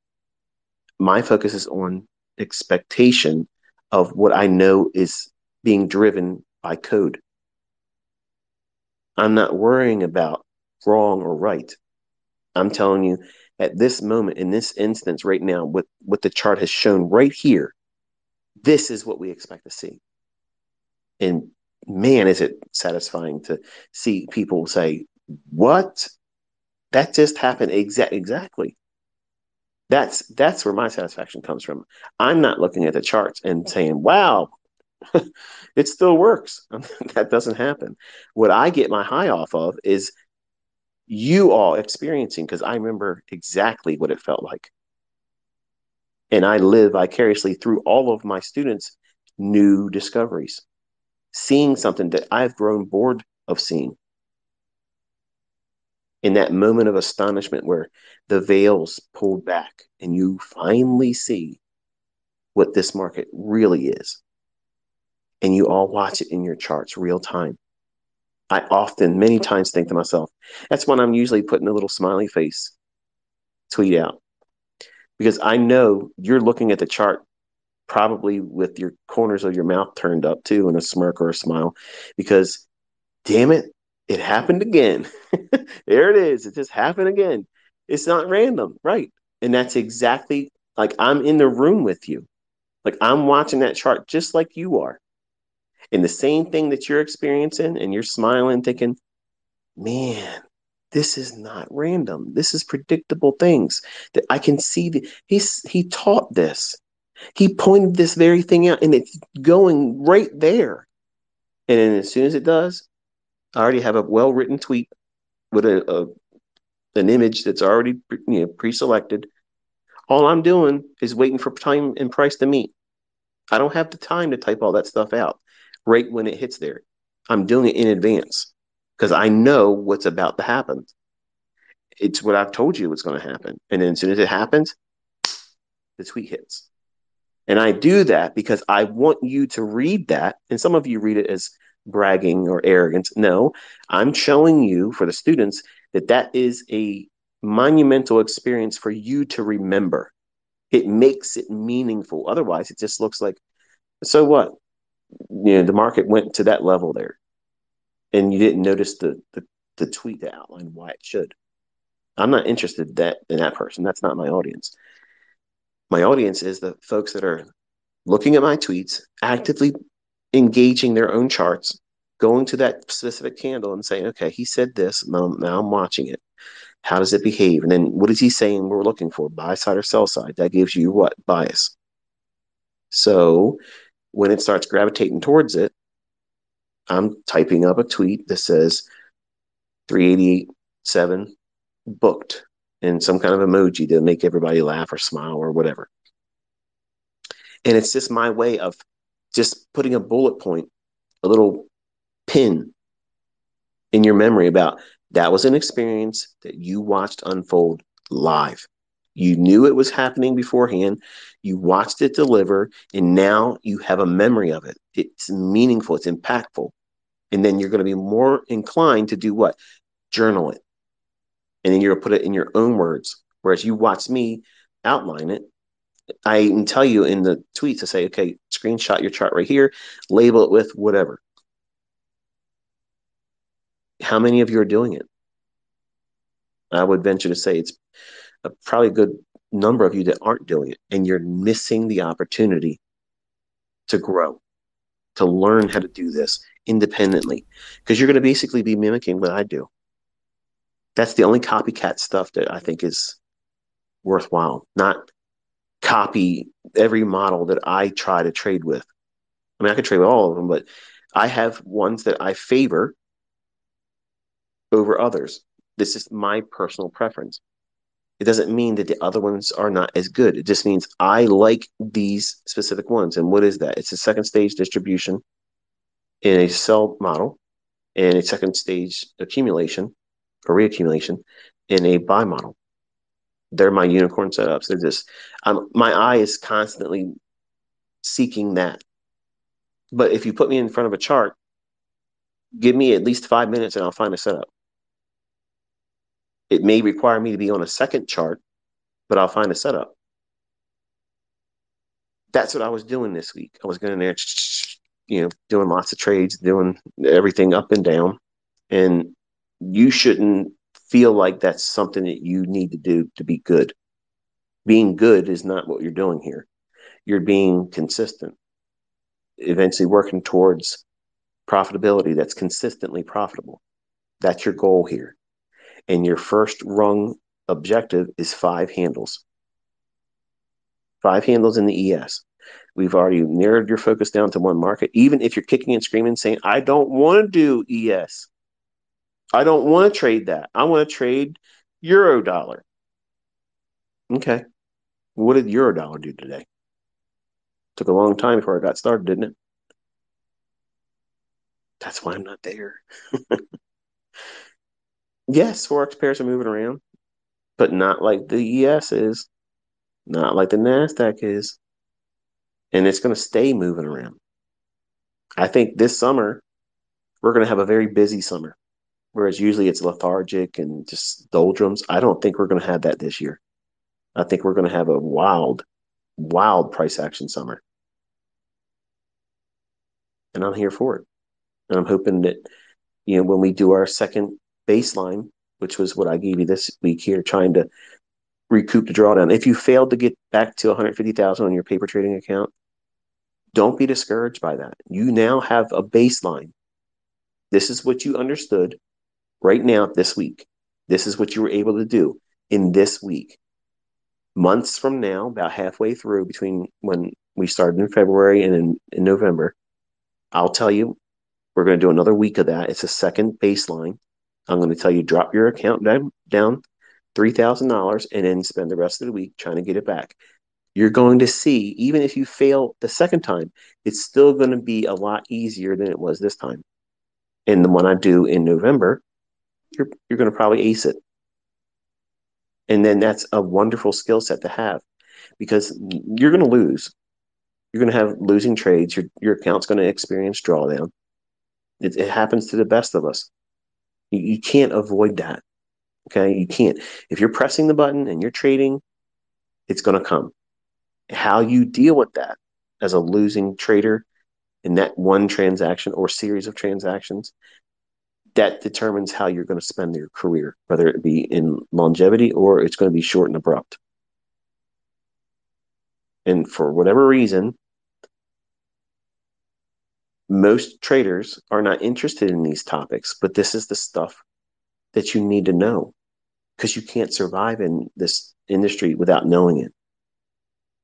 You have to have your mindset correctly aligned with what it is you're doing and avoiding things that are going to invite your failure. And it comes with boring discussions and uncomfortable discussions. This would be better spent if you told us how to pick the right fair value gap. Tell me how to use the Event Horizon PD array. Some of you are talking like you know what it is already. You don't even know what it is. I appreciate and love your enthusiasm, but you need to dial it back. You have no idea what you're doing. Nobody knows what an event horizon PD array is. Nobody does. I haven't taught it. Okay. Nobody knows what it is. Nobody in my private mentorship knows what it is. They're all waiting just like you are. But you're all out there posting charts and like you've like you see it. Don't do that. Be genuine. If you don't know what it is, you had no business referring to it in your chart. It's disingenuous. And you don't think I know you don't know? I haven't taught it yet. So anyway, I had a lot of fun this week. I had a lot of fun. I thought that uh, we had a very productive week, and it looks like things are heating up. You know, the markets are really moving around good. So usually in the springtime, April and May, uh, the market tends to create some type of a topping formation and it starts to drift down into the summer months and into a low of the fall. This recent drop this week, once we went up into that daily chart, SIBI for ES, this was a little bit more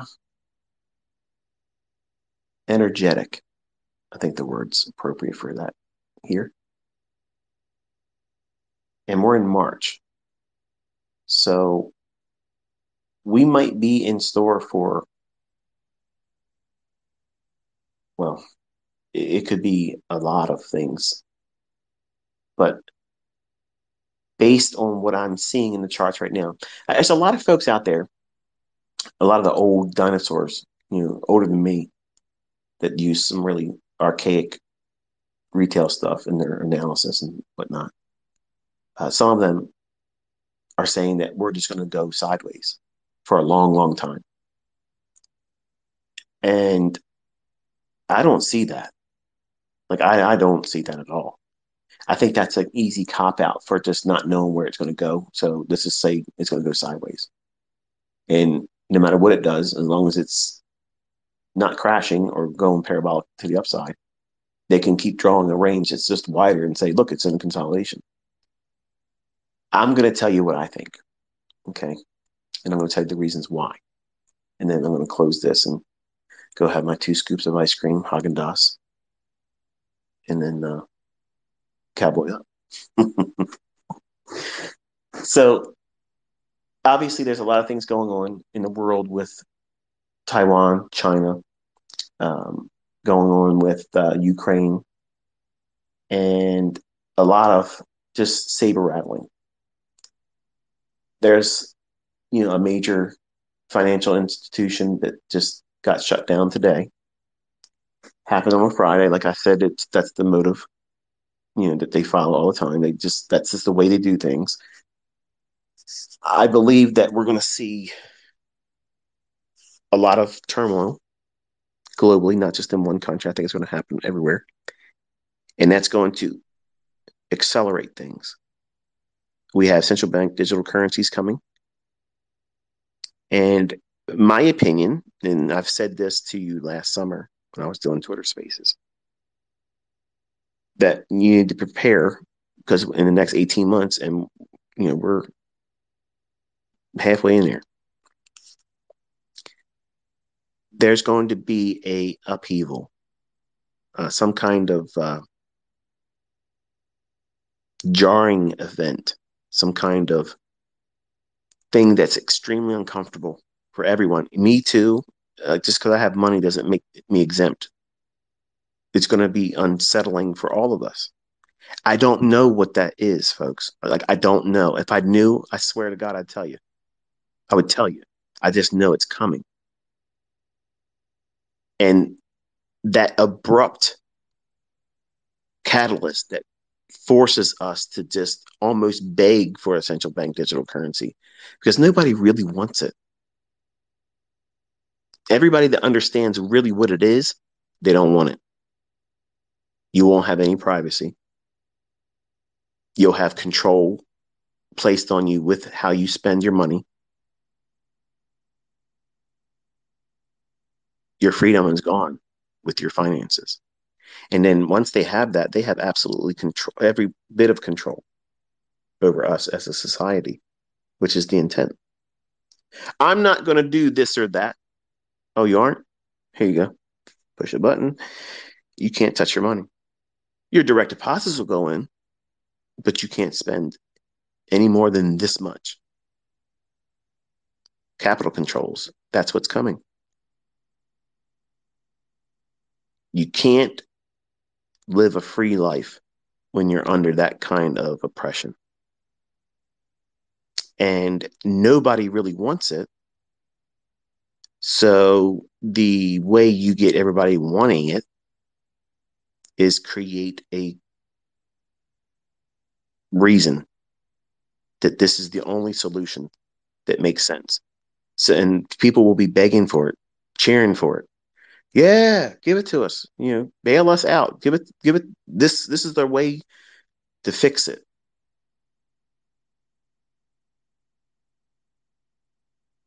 And once it happens,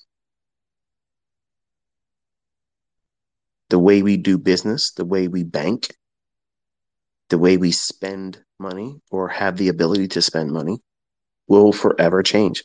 And I understand you you could argue and say, well, it's already digital. Not like this. Like I can go out and take a wad of cash and buy groceries right now. I can go buy clothing. I can buy medicine. I can buy a firearm. I can buy ammunition. I could buy car parts. I can go buy a car cash with real bills instead of writing checks like I do. It still spends the same right now, but it won't eventually. And those things You don't think about it right now because it's not something you need to concern yourself with in your mind. But everything is speeding very, very fast to every central bank putting in place their digital currency. I hmm. think personally, there's going to be an event in the banks. It's going to be some kind of glitch, some kind of hack, some kind of, well, they already got something started today. A major bank failing, being taken over by the FDIC or whatever. And now bank runs are in discussion. A bank run is where depositors, people like you and I, to have a bank account with that bank, all are trying to get our money out of the bank. They don't like that. They don't want that. There ain't enough money in the banks if we all went there to ask for it. Go to the bank and ask them for thirty-five thousand dollars. I mean, you have to have it. Obviously, you can't just. it's like bank robbery. Give me thirty-five thousand dollars. You have it in a, a, deposit? No, I just want thirty-five thousand. Okay, hold on real quick. There's a cop coming. it, but if you have thirty-five thousand dollars in the bank, go into a bank and ask for it. Look at them squirm and start looking around like you just asked for something they don't have because they don't. You have to order that. It could take up to a week for that money to come there. Now that they have money because they want have cash on hand for people to do business with cash still, and some people still have their checks cashed or whatever. But they don't have that kind of cash. And I have had many instances where I've gone in and asked for cash, and they literally said, "We can't do it. We can give you five thousand. No, I asked for twenty-five thousand dollars. We don't have it on hand. What are you talking about? You don't have twenty. You're a bank. You should have twenty-five thousand. No, no, we don't. Um, maybe if I call around at the other branches, you can probably go around and pick up a couple thousand here. Uh, what did you just say to me? They literally tried to do that. And that opened my eyes. I was thinking to myself, wow, this is kind of unnerving, really, to think about it. Like, that's not even a lot of money. And they don't want that kind of money being withdrawn. They want your money in their hands. Capital controls. That's what's coming. Trust me, that's going to be circulating around. Those are the words, those buzzwords. You're going to be hearing that. You can't take any more money than this out. Have you noticed your bank withdrawal at the ATMs have been reduced? Because mine were, and I never authorized it. I used to be able to take out fifteen hundred dollars. Every bank account I have, I could take out fifteen hundred dollars. Now, seven hundred bucks. On other accounts, five hundred. Nope, this ATM won't let you get more than five hundred dollars. What? What? It's my money. Well, you can always go in there and ask the teller for it if it's a reasonable amount. It's my money. They don't want you to get the cash out. And right now, watch over the weekend. I might not be correct in this, you're going to hear the terms bank run, capital controls. Those words are going to start buzzing. And people are going to get real nervous and they're going to be thinking, oh no, I got to go to the bank. And this is the reason why they do it on a Friday because you have a half a banking business day on Saturday. That's it. Not everybody can go to the bank. And a lot of people are just going to be like, oh, I ain't watching the news. It's party time. It's Friday night, girl night money. And Saturday, they're hungover. They're sleeping in until noon when the banks will close. And when they wake up, it's too late for them to go to the bank and get anything. But it's always on the weekend. They always do things on the weekend. They set up things that get people all twisted up and divided so we're fighting each other on the weekend because you have time to be out there causing all kinds of drama. And whenever they mess around with the financial stuff, it's the same way on a Friday. The bank doors are closed. And anytime they want to say it's a bank holiday, it's done. We're not opening back up. We're on holiday, meaning you're SOL. Capital controls. Ask anybody that lived in Greece, they'll tell you all about it. They had money in the bank, but they couldn't take any more than this number of euros out per day. That's what's coming. That is what's coming. It's it's very convenient that we have all these proxy wars going on. Talks about war. So we have all these perfect scenarios that justify how the glitch, the hack that takes place. The banks collapse because there was a glitch or a hack. Well, the only way we can protect everybody now is we got to put everybody on a central bank digital currency. And so many people will eat that up thinking, yeah, that makes sense. It's a digital currency right now. All of my money that's not in cash is in the digital format. It's a number in banks.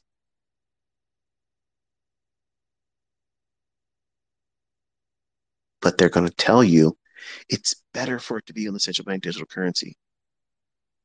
It's safer. Huh. Well, thank you for looking out for me.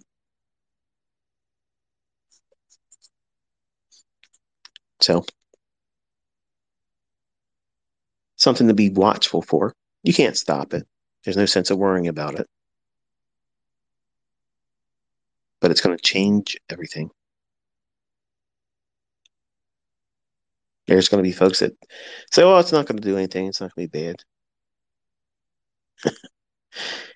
Watch, watch and see. But you'll have a skill set as long as we have access to these markets to make another stream of income. And that income can be wherever your skill set takes it. For some of you, it's just a little bit more a month. And for others, it's lux lifestyle. No matter which decision you make and what direction you go in, I'm actually very interested to see what your story is, if you're willing to share it with me, which is the currency here. I did our first interview tonight with Paladin. I enjoyed talking to him. And I have another gentleman I'm going to be interviewing on Tuesday. So I'll have another one on Tuesday night. So we might do we might do two a week if I can find a way to get it in there. But uh, at least one per week. I have so many of them. If you email me, just know if I haven't responded to you or say anything, it's I have a lot of you and I'm doing it in the order I received them. So that way I'm not cherry picking anybody. I've literally, Paladin was the first one. And the gentleman I'm going to be talking to on Tuesday, he's the second one. And the folks that are right behind him, they'll get an email just like they did. And it's just basically saying, you know, this is the day I'd like to do it. If it doesn't work, let me know. And I give them the list of questions I intend to ask them. And then you see it. Real people, real faces, real money. The companies themselves have interviewed them. The payouts are, are verified. You can see it. It's there. So it's to me, you know, it's it's a source of inspiration. And I use the title Real Money, Real People because that's how I started. Ken Roberts, that garbage book that I bought that I thought was going to change the world for me. his little cassette tape that he sold me on the idea with was titled Real Money, Real People. And it was interviews with people that were using commodities to make money. So I'm full circle going right back into how I started. What was my inspiration? So I know seeing individuals, seeing their face, reading their emotions from their discussion, how they're talking to you, how they're talking with me, the the way they share their experience, it's genuine. It's not like if I was talking to someone right here on this, which is I've contemplated doing that. Like I contemplated having like the interviews over Twitter. But I don't manage my own Twitter spaces. Once I do them, I'm done. And other people upload them and whatever. You can do whatever you want with them. I don't care. But I just wanted to see their face. Like to me, it's an emotional thing. Like I'm when I was doing that tonight, I had to fight back, you know, the emotion that I was feeling. And when I watch the playback, I'm looking like I'm a substitute teacher and I'm watching a class that I don't have any affinity for. When in reality, I was very emotional. Like I was very emotional and I was trying to keep my composure because I'm so appreciative of him, number one, sharing his experience with me and allowing it to be seen by everyone. Um, he's obviously done interviews with other folks before too, but you know, to me, it's meaningful because you know, he's saying that he uses what he's learned from me, and that to me is wonderful. And I'm thankful that that the Lord has allowed me to have that impact on his life and other folks that are in my inbox waiting to have a conversation with me and, and share their experience with you as well. And more of them came in today. So I mean, as obviously as we go forward throughout this year, folks that are more versed in trading that are already trading with live funds and can find profitability, they're going to, I'm certain, have a testimony of their own and they'll probably reach out to me and I'm anxious to have a conversation with them as well. There's just a lot of them. And I'm not going out of the order that they came to me. Not all of them are going to be $250,000, $300,000. You know, not all of them are like that. Some of them are 20,000. Some of them are 10,000. You know, isn't that, in my opinion, that's still noteworthy. Like you're not demo trading and to see the response and hear their appreciation for having this skill set taught to them they can now do it. You know that's meaningful to me. It may not be as mean as meaningful to you because you mm-hmm. can't do it yet but you're learning how to do it. And i'm excited to talk to you too. Like i want to i want to see more of all of you. And i've had a lot of individuals through my mentorship over the years. People reach out to me, send private links to videos on YouTube, or send me things, you know, through other mediums. And my family and I had the wonderful ple- pre- privilege and pleasure to see and hear them show their appreciation. And it's just a wonderful, wonderful repayment for everything I'm poured into this. Because it's one thing to say, you know, thanks ICT in a tweet, you know, there it is, that's cool. But when someone spends time and they show you their face and they talk from their heart and show you the appreciation, the fact that, you know, I didn't have to do this. I mean, I could have went back on my promise that if I was taught how to do this and I could do it, I would teach the rest of my life and teach other people how to do it. I could have went back on that, but I didn't want to do that. Sometimes I do because it's hard to manage all of your personalities and your demands on me, and I have to balance a lot of other things and on top of what I'm doing here. But when I see folks really give a heartfelt thank you, and I can see them, my wife's, it, it's to me, when my wife saw this young man tonight, it's just one more of what she's already seen many of. And that's what I got her to tell me one time we were taking a ride. And I think I've said this to you before. But for her to say, you know, I, I, I can understand now why you do it. And I didn't, I didn't understand it before. Like, because she always thought that all of you were stealing her time. Because I spend more time with all of you than I spend with her.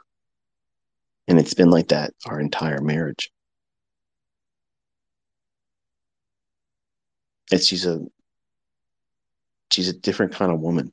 There's not a lot of women out there that would want to allow something like this.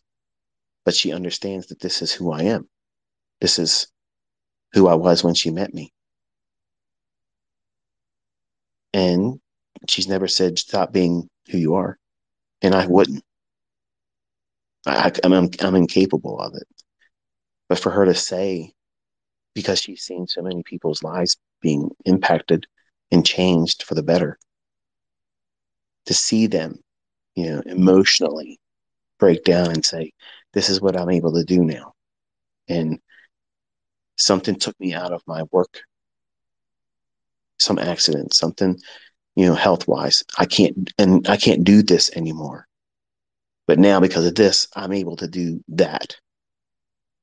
You know, and when you see that and they are heartfelt and they're tearful and they're just so emotionally committed to now doing this because they've seen it work for them. And us as a family like i let my i let my kids see it. Because it's to me it's like i want them to see this is why i do it. This is why i do it. These people all around the world are thinking and praying for me because i help them and now they have the ability to do something they otherwise never would have. And the fear, the anxiety that they had before with not having a skill set like this, and it was only their job that maybe they were made redundant at. They got sacked, they're fired, lost it. COVID took a lot of people out of the job. And they've not been able to resurrect themselves from that. But my students have been able to do what? Find another way. Some of them had businesses that were ended, and they are now finding their way with this. And it just feels,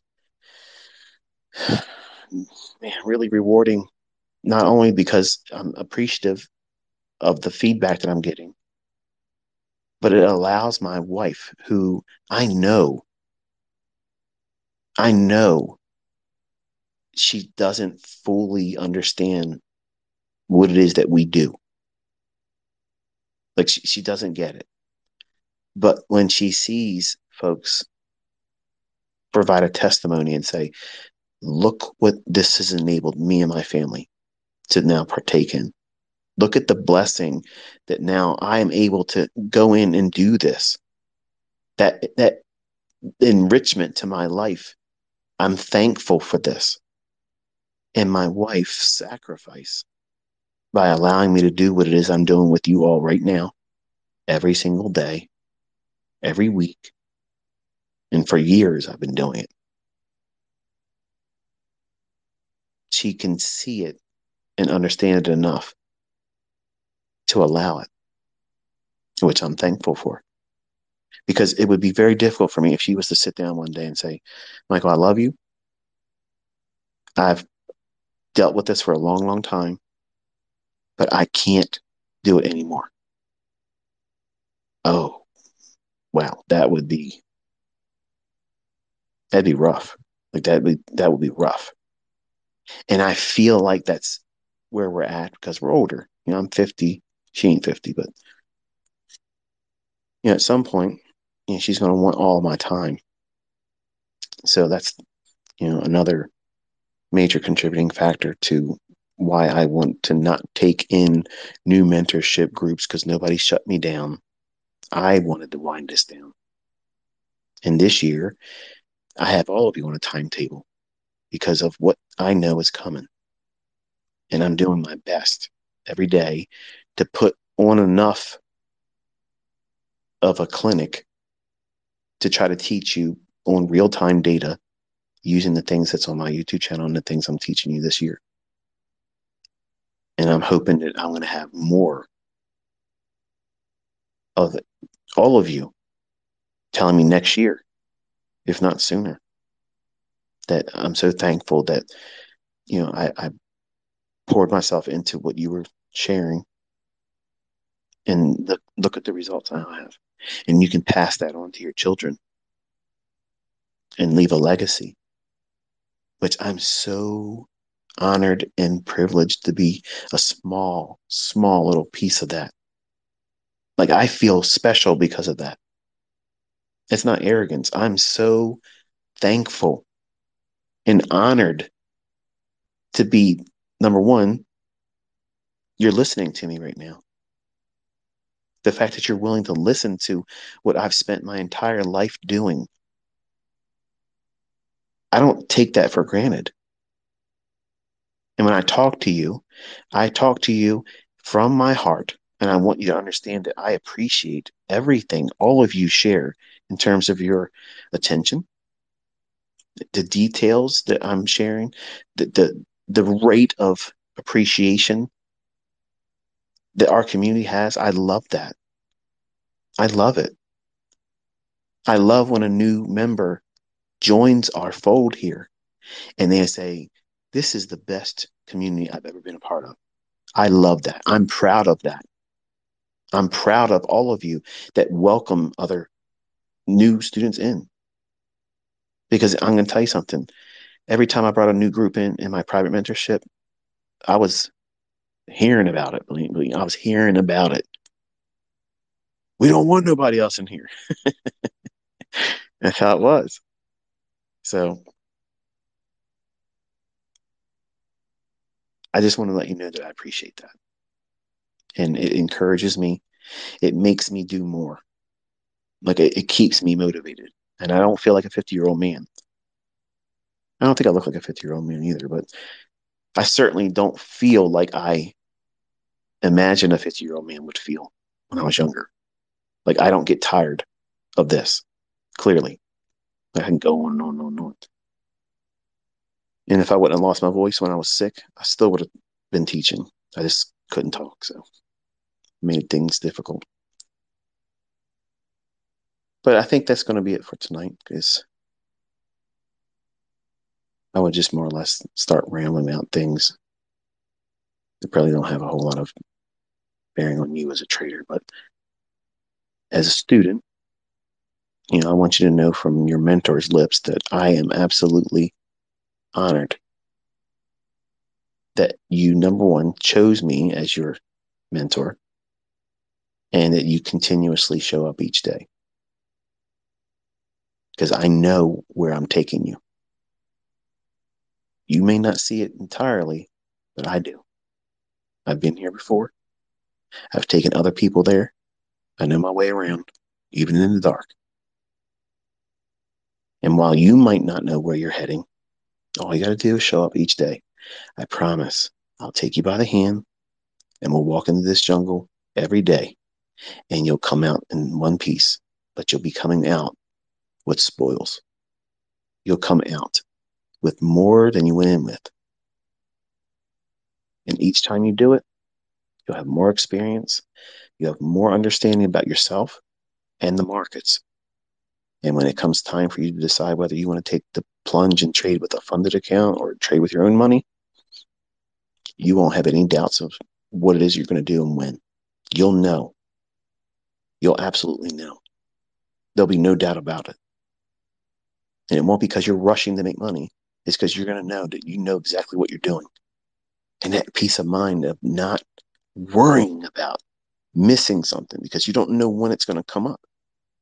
Because that's really what fear of missing out is. You don't know what you're doing. You don't know what you're doing or what to expect in price. So therefore, you're fearful of missing something, which is what we've watched, you know, crypto traders for years experience that fear of missing out. They think that there's always going to be that next 50,000, you know, point run in the cryptocurrency. Every little fluctuation is going to be 100,000 Bitcoin. Every little movement because they don't know how to trade. I'm not knocking any crypto traders specifically. I'm just saying that asset class recently has drawn in nobodies as far as traders. They'd never traded before anything. And it's like a circus, that community of of speculation. It's like I love it because it's a freak show.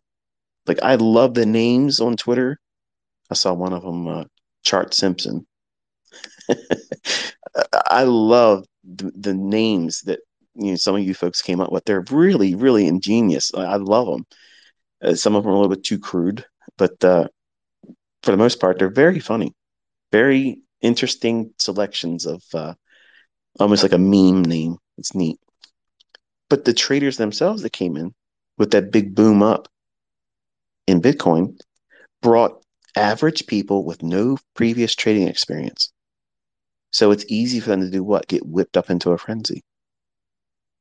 And they fear they're going to miss every little movement is going to be the next Bitcoin 100,000 run because they don't know how to trade. I'm teaching you how to trade. I'm teaching you how to read price so that way you're never going to have fear of missing out. There's no FOMO in ICT, none. None. I'm bored. I'm boring listening to in those live streams. It's like I've seen this before. And it's exactly how it's going to be for you. No emotion. I got to bring in the dad jokes all the time to break up the monotony of this boredom. It's boredom. It's the same stuff all the time. And that's how it's going to be for you. And you want it to be like that. You don't want it to be some kind of rave, okay? Not some kind of techno jam party, you know, nothing over the top in terms of exhilaration. You want it to be absolutely boring. You've been here before, you know how it ends. You won't get emotionally attached to the trade. You're not going to be beating yourself up if you lose. And you're not going to think of yourself as the GOAT because you had one winning trade. That's how you been that's how you beat this business. That's how you do it. And you're getting there. So hopefully this is going to be uh, enough for this weekend. Like I said, I usually do them on Saturday, but I don't have uh, a, an opportunity to do that this weekend. So we did it tonight, and I hopefully have deposited something useful and helpful to you tonight. And if not, I apologize for wasting your time. But if you keep showing up, I promise it won't always be like that. You'll get something. And we'll be back at it again, Lord willing, on Monday. So this weekend, try to get some rest, do a little bit of studying. Don't do too much. And I'll have some new lectures for you this coming week. And until I talk to you then, be safe.